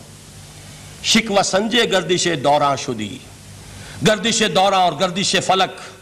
और फलक नाहंजार और फलक कज रफ्तार इसको खाम खा गालियाँ दे रहे हो। इसका खाम खा शिकवा कर रहे हो, शिकायत कर रहे हो, ये तो है बाद सबा ही हम आबुर्द तुस्त। ये तुम्हारे अपने करतूतों का, की सदा है जो तुम्हें मिल रही है। तुमने कुरान को पीठ दिखाई, तुम जलील रसवा कर दिए गए। खारस महजूरी कुरान शुदी। शिकवा संजय गर्दिश दौरा शुदी। ए चो शबनम बर जमी उफ्तंदई, दर बगल दारी किताब जिंदई। ए वो कौम जो शबनम की तरह ज़मीन पर पड़ी है अगियार उसे पाँव तले रौंद रहे हैं, जैसे आप सुबह को सैर करने निकलते हैं। सब्जे पर पड़ी हुई शबनम, उसे आप रौंदते हैं अपने कदमों तले। ए उम्मत मोहम्मद, आज तू दुनिया की कौमों के सामने इसी तरह पाबाल है, सरनगू है। लेकिन होश में आ कि तेरी बगल में वो किताब ज़िंदा मौजूद है। वो किताब ज़िंदा, जिसने कि दुनिया में यही जजीरा नुमाया अरब, वहशी लोगों का मस्कन। ना यहाँ इल्म, ना यहाँ तमद्दुन, ना यहाँ तहजीब, ना यहाँ तंजीम। कोई डिसिप्लिन नहीं, कोई हुकूमत नहीं, कोई तहजीब नहीं, कुछ नहीं। तारीकियाँ ही तारीकियाँ यही किताब थी जिसने इसे मुनवर किया। यही किताब थी जिसने दुनिया का इमाम बनाया। यही किताब थी जिसने दुनिया का मुअल्लिम बनाया। यह किताब थी जिसने नए नए उलूम ईजाद करने सिखाए। यह किताब थी जिसकी बदौलत यही अरब थे। जिन्होंने यूनान के फलसफे और साइंस को जो मर चुके थे, उन्हें ज़िंदा किया। उनमें नई चीज़ों का इजाफा किया और स्पेन की यूनिवर्सिटियों के ज़रिए से यूरोप तक दोबारा पहुँचा दिया। ये वो किताब है दर बगल दारी किताब ज़िंदगी इकबाल ने कैसे कैसे शिकवे कहे हैं, इसी कुरान में है अब तर के जहाँ की तालीम। जिसने मोमिन को बनाया महो परवी का अमीर। इस कुरान को लेकर मुसलमान निकला है। एक हाथ में कुरान, एक में तलवार। बुराना मानिए, कुरान, तलवार का नाम भी आप एपोलोजेटिक अंदाज में ना लिया करें। इनकलाब की तकमील तलवार से होती है। इनकलाब की तमहीद किसी किताब से होती है। अच्छी तरह जान लीजिए। कभी इनकलाब सिर्फ़ किताब से नहीं आया। किताब से जहन बदलते हैं। किताब से फ़िक्र बदलती है। किताब से सोच बदलती है। किताब से एक जमात तैयार होती है। एक कुत तैयार होती है। वो 313 जो मैदान बद्र में थे वो कुरान का एजाज का जहूर थे, लेकिन उनके हाथों में तलवार आई है। हम इसे डिनाई नहीं करेंगे कि दर हकीकत इनकलाब मोहम्मदी की तकमील में यकीन तलवार का हिस्सा। लेकिन ये तलवार हाथ में लेने वाले आते कहाँ से? अगर कुरान के ज़रिए से मोहम्मद रसूलुल्लाह ने वो जमात तैयार न की होती। वो काम किया है, यतलू अलहिम आयात ही वयुजक्कीहिम वयुअल्लिमुहुमुल किताब वल हिकमा। वो सारा अमल कुरान के गिर्द घूम रहा है जिससे वो जमात तैयार हुई। और फिर इकबाल ने इसको भी दो जुमलों के अंदर अदा कर दिया। एक शेर के दो मिसरे। बानश दरवेशी दर साजो दमा दम जन। चू पुख्ता शवी खुदरा बर सल्तनत जम जन। पहले है वो नशा दरवेशी, वो फक्र वो साहबा किराम के, वो रातों को अल्लाह के सामने खड़े रहना। वो तस्किया नफ्स, वो मुआजा कुरानी, वो तस्किया जो कुरान के ज़रिए से हो रहा था। तेरह बरस तक हुआ। अब जब एक एक जमात तैयार हो गई, एक कुत वजूद में आई। तो अब इस कुत को मोहम्मद रसूलुल्लाह ने बातिल के निज़ाम पर दे मारा, टकराया। बानश दरवेशी दर साजो दमादम जन चू पुख्ता शरी खुदरा बर सल्तनत जमसन तभी वो इनकलाब आया, जाल हक वजहकल बातिल बातिल का नजहूका तो अल्लाह ताला इस किताब को अब मीज़ान बना चुके हैं। वबिल हक अनजल ना हो वबिल हक नजल, ये कुरान हक के साथ नाजिल हुआ है, फैसला कुन किताब है? फ़सल वमा हुआ बिल हजल। ये कौल फ़सल है। हजल नहीं है, किसी शायर की शायरी नहीं है। कि आपने तहसीन की तो क्या और न की तो क्या? ये किताब वो है कि अगर मानोगे तो महो परवी का अमीर बनोगे। और अगर इसको पीठ दिखाए रखोगे, जैसे दिखाई तुमने तो जलील कर दिए जाओगे, रुसवा कर दिए जाओगे। जैसे कि आज कम से कम तीन सौ बरस से पूरी दुनिया में मुसलमान जलील और खार है। खार महजूरी कुरान शुदी शिकवा संजय गर्दिश दौरा शुदी ए चो शब नंबर जमी उफ्तंदई, दर बगल दारी किताब जिंदई। इन अल्लाह यरफा बेहाजल किताब अकवामन व यजा बही आखरीन। रवाह मुस्लिम आखिरी हदीस जिस पर मैं अपनी गुफ्तु ख़त्म कर दूँगा। ये हज़रत अली से है रज़ी अल्लाह तन देखिए, एक हदीस हज़रत उस्मान से, एक हज़रत उमर से, एक हज़रत अली से। ये सब कौन है? ये सब हमारे हैं। ये मोहम्मद अलैहि वसल्लम की तरबियत का शाहकार। हज़रत अबू बकर रज़ी अल्लाह तु से भी एक हदीस मरवी है, लेकिन उसका मतन मुझे याद नहीं था। मफहूम उसका यह है कि जिस शख्स को अल्लाह ने कुरान जैसी दौलत दी हो, और फिर भी कभी उसके दिल में यह ख्याल आए कि अल्लाह ने अपने किसी और बंदे को कोई ज़्यादा बड़ी नेमत दी है, उसने कुरान की नाकदरी की। किसी मिलियनियर को देखकर और बिलियनियर को देखकर, किसी का बहुत बड़ा महल देखकर अगर तुम्हारे दिल में यह ख्याल आया कि यह दौलत बड़ी है, उस दौलत से जो तुम्हारे पास है कुरान की तो तुम कुरान की कदर कीमत से वाकिफ नहीं। तुम्हें मालूम क्या कि यह कितनी बड़ी दौलत है? यह दर हकीकत शरा है उसी उन्हीं अल्फाज कुरानी की कि फबेजाल कफल यफरहू हुआ खैर यजमाऊन। जो कुछ दुनिया जमा करती है जिनको कीमती अशिया समझ कर लोग जमा करते हैं, उनसे कहीं बढ़कर कीमती ये कुरान है। तो हज़रत अबू बकर से ये मरवी। हज़रत उमर से इन्फा किताब अकवाम आखरीन। हज़रत उस्मान से, खैरकुम मन अब आई हज़रत अली सैदना अली रज़ी अल्लाह वो हदीस तवील तरीन है, जो मदह कुरान में मोहम्मद रसूलुल्लाह से मरवी है, सल्लल्लाहु अलैहि वसल्लम। पूरी हदीस मुझे याद भी नहीं है और उसका वक्त भी नहीं है। लेकिन बड़ी प्यारी हदीस है इस एतबार से। आगाज़ कैसे हुआ, हज़रत अली फरमाते हैं, काल रसूल वसल्लम इन्हा सतकून फितनतुन। अन करीब एक बहुत बड़ा फितना रूनमा होगा। हुजूर ने खबर दी फितने की। हज़रत अली फरमाते, इस पर मैंने अर्ज़ किया। कुल तो। मैंने अर्ज़ किया, मल मखरज मिनहा या रसूल अल्लाह अल्लाह के रसूल, उससे निकलने का रास्ता कौन सा होगा? देखिए, ये लिखा हुआ एग्जिट निकलने का रास्ता। और आमतौर पर आपने देखा होगा, बड़े हॉल्स में ये सुर्ख रोशनी होती है इसमें। उसका एहतमाम किया जाता है कि अगर खुदा न खास्ता को हादसा हो जाए, लोगों को मालूम हो निकलने का रास्ता कौन सा, ये मखरज है। हुजूर ने खबर दी कि फितना होगा। तो देखिए, मैं एक बात अर्ज़ किया करता हूँ, जरा तवज्जो कीजिए। हमारा हाल क्या है? हम बड़े रैशनलिस्ट किस्म के लोग हैं। ये जमाना रैशनलिज्म का है।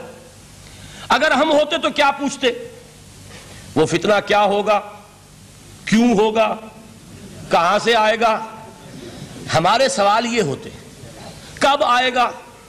क्यों, कहाँ, कब, कैसे? इन सब की हैसियत इल्मी सवाल की है। भाई, कब आएगा? एक इल्म है। कैसे आएगा? इल्म है। कहाँ से आएगा? इल्म है। लेकिन असल जो अमली एतबार से अहमियत वाली शय है, बचाव का रास्ता कौन सा होगा मोहम्मद रसूलुल्लाह? ये बताइए हम। मल मखरज मिनहा या रसूल हज़रत अली ने यह नहीं पूछा, फितना क्या होगा? कहाँ से आएगा हजूर? क्यों आ जाएगा? कब आ जाएगा? नहीं। मल मखरज मिनहा या रसूल अल्लाह अल्लाह के रसूल ये बताइए कि जब वो फितना रूनमा होगा तो निकलने का रास्ता कौन सा होगा? इसका जवाब है शाद फरमाया मोहम्मद रसूलुल्लाह ने, किताबुल्लाह। अल्लाह की किताब है वो मखरज। ये किताब है कि जिसको थामोगे तो फितनों से महफूज रहोगे। उसके बाद आप फरमाते हैं फ़ी है नबा मा कबलकुम, व खबर मा बादकुम, व हुक्म मा बैनकुम। इसमें तुमसे पहलों की भी खबरें मौजूद हैं। आद और समूद, और कौम नूह, और कौम हूद, और कौम लूत, और कौम साले और आल फिर ये कौन है? मन कबल कबलकुम, तुमसे पहले। वह फ़ी है खबरों मा बादकुम, जो कुछ तुम्हारे बाद होने वाला है, उसकी खबरें भी मौजूद हैं।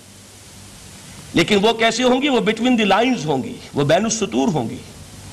उनके लिए इंसान को, आपको मालूम है, एक इबारत में सतूर होती है और एक दरमियान में होता है, उनके कुछ लिखा हुआ नहीं होता। You have to read between the lines Quran में बाद में आने वाले हालात भी दर्ज हैं, लेकिन उस तरह नहीं जैसे कि पिछले हालात दर्ज हैं।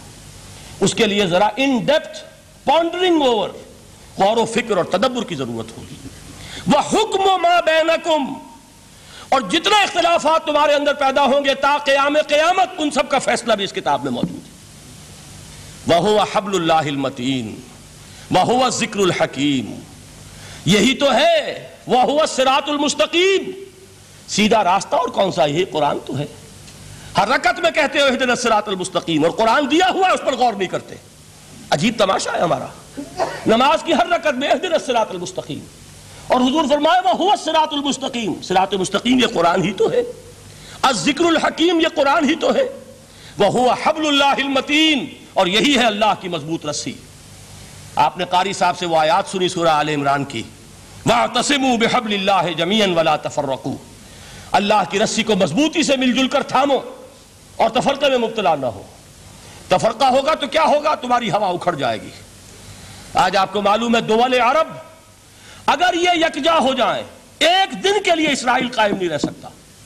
अमेरिका नहीं, अमेरिका का बाप उसे कायम नहीं रख सकता। अगर उम्मत अरब ही जमा हो जाए, आलम इस्लाम तो बड़ी शह है। जो वसाइल इनके पास है, जो अल्लाह ताला ने इनको नेमतें अता फरमाई हैं। लेकिन इफ्तराक, इंतशार, इख्तलाफ, जत्थेबंदी ग्रोह बंदी धड़े बंदी उसने इसराइल का खंजर इनके सीने में पैवस्त किया हुआ। इसलिए कि फतज हवा री हुकुम अगर तुम इख्तलाफ करोगे तो तुम्हारी हवा उखड़ जाएगी, आज वो हवा उखड़ चुकी है। तो फरमाया, वातसिमु बेहबल्ला ज़मीन वला तफर्रकू। अल्लाह की रस्सी को मजबूती के साथ मिलजुल कर थामो और तफरते में मत पड़ो। हुजूर फरमा रहे वो अल्लाह की रस्सी कौन सी? हुआ हबलुल्लाहिलमतीन यही कुरान है अल्लाह की मज़बूत रस्सी। अल्लामा इकबाल ने क्या खूब कहा है? अल्लामा इकबाल ने कुरान और हदीस के हकाइक को जिस तरीके से अशार का जामा पहनाया है, वो तो खुद कहते हैं, गौहर दरियाए कुरान सुफ्ताम। मैंने कुरान मजीद के दरिया से मोती निकाल कर अपने अशार के अंदर मैंने चुन दिए हैं। मेरा काम और कुछ नहीं है। मोती कोई भी गवास पैदा नहीं करता, दरिया की गहराई से निकाल लाता है। ये मेरी हिकमत नहीं है जो मेरे अशार में है। ये मैंने कुरान मजीद के दरिया में गौता जनी करके उससे ये मोती निकाले। गौहरे दरियाए कुरान सुफ्ताम।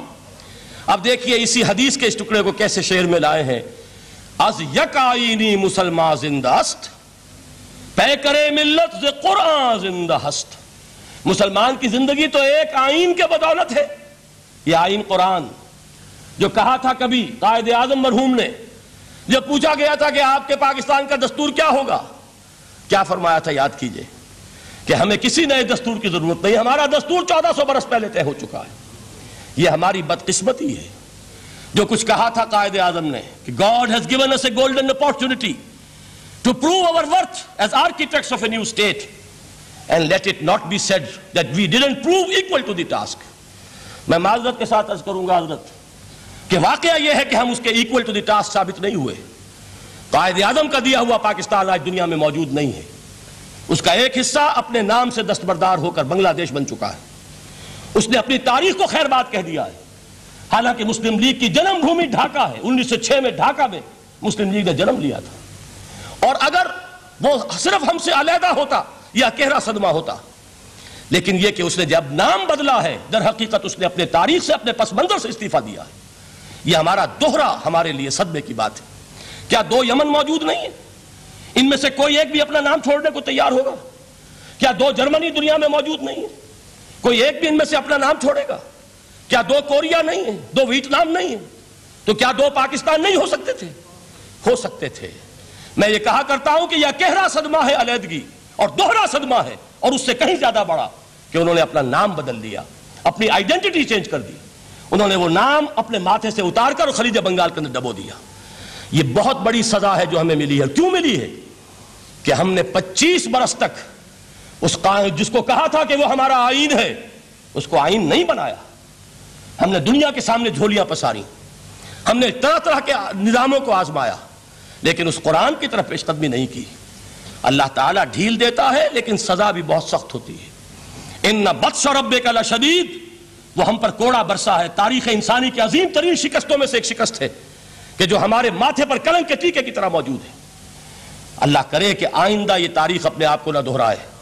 लेकिन मैं अर्ज़ कर देता हूँ आपसे, जो हमारे लक्षण हैं, जो हमारा तर्ज अमल है, जो हमारे लहलो नहार हैं, जो हमारा अंदाज है, अल्लाह के दीन का इस्तेजा और तमस्कुर, जिस तरह अल्लाह के साथ मज़ाक हम कर रहे हैं, उसका शायद इससे भी कहीं ज़्यादा बुरा नतीजा निकले। अल्लाह मुझे और आपको और अर्ज़ मुकदस पाकिस्तान को उस अंजाम से बचाए। लेकिन उसके लिए काम करना होगा।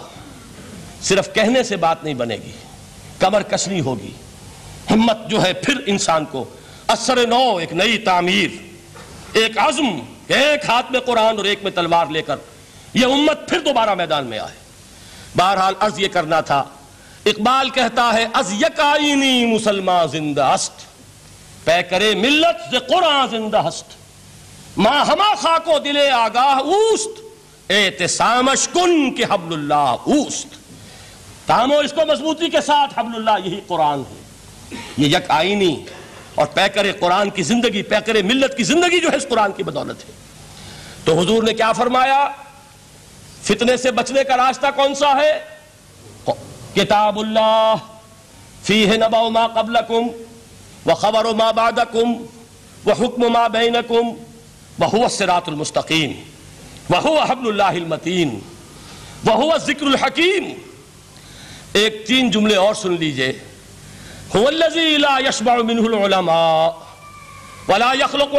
रद्द। ये कुरान वो शय है, जिससे अहले इल्म कभी शेर न हो सकेंगे। वला तनकजी अजायब हो इसके अजायब कभी खत्म नहीं होंगे। ये हीरो की वो कान नहीं है कि जो कभी खाली हो जाए, कि सारे हीरे निकल चुके अब मजीद हीरे नहीं है, नहीं। इल्म और हिकमत के हीरे। और हिदायत और हिकमत के मोती इसमें से अबदुल्लाबाद तक निकलते रहेंगे। ज़रूरत सिर्फ़ खोदने की है। मैंने वो लफ्ज इस्तेमाल किया था। आज का कुरान खोदना होगा। आज की हिदायत इस कुरान से निकालनी होगी। कुरान जब नाजिल हुआ ऑन दी सरफेस बिल्कुल ज़ाहिर, वो थी उसकी हिदायत जो उस दौर के लिए ज़रूरी थी। हमेशा की हिदायत इसके अंदर रख दी गई है। इसमें मुजमर है, इसमें छुपी हुई है। उसके लिए तदब्बर की ज़रूरत है। किताब का मुदब यदब्बरू आयाते ही वाले लोग तदब्बर करें, इसकी गहराइयों के अंदर गौताजनी करें। ला तनकजी अजायब हो इसके अजायब कभी खत्म नहीं होंगे। बला यशमा अहले इन कभी इससे शेर नहीं होंगे। आपको सख्त भूख लगी होती है, और खाना खाने के थोड़ी देर के बाद अब आपका हाथ रुक जाता है, शेर हो गए। बेहतरीन खाना है, लेकिन नहीं खा सकते। अगर आम हालात में वो आता तो कभी ना छोड़ते। लेकिन अब वो आपका मेजबान कह रहा कुछ और लीजिए तनाबुल फरमाइए, जरा ये भाई नहीं, मैं अब भर चुका। ये आप कहते हैं कि नहीं? हजूर फरमा ये कुरान वो शय नहीं है जिससे अहले इल्म कभी शेर हो सके। उनकी प्यास बढ़ती चली जाएगी। उनके अंदर quest of knowledge search for wisdom बढ़ती चली जाएगी। कभी भी इंसान ये महसूस नहीं करेगा कि मुझे जो लेना था मैं ले चुका। बल्कि ये कि जैसे जैसे कदम आगे बढ़ेंगे, तहजीब के, तमद्दुन के, इल्म के उतने ही कुरान जो है वो आगे बढ़ता चला जाएगा, हर दौर की रहनुमाई के लिए। लातन कजिया जाए बहु वला यखलुक कसरत रद्द बार बार के पढ़ने से इस पर बोसीदगी तारी नहीं होगी। दुनिया की और किताबें हैं, एक दफ़ा पढ़ लेंगे, दो दफ़ा पढ़ लेंगे, तीन दफ़ा पढ़ लेंगे, चार दफ़ा पढ़ लेंगे, फिर जी नहीं चाहेगा। लेकिन यह किताब वो है, इमाम शाफी का मैं वाक्य आपको सुनाता हूँ। वो ये कहते हैं कि एक मरतबा मेरे जेन में ये सवाल आ गया कि इजमा के लिए भी कुरान मजीद में कोई सनद है, दलील है? सब मानते हैं कि इजमा जो है सोर्स है कुरान के इस्लामी कानून की, जिस पर कि उम्मत का इजमा हो जाए।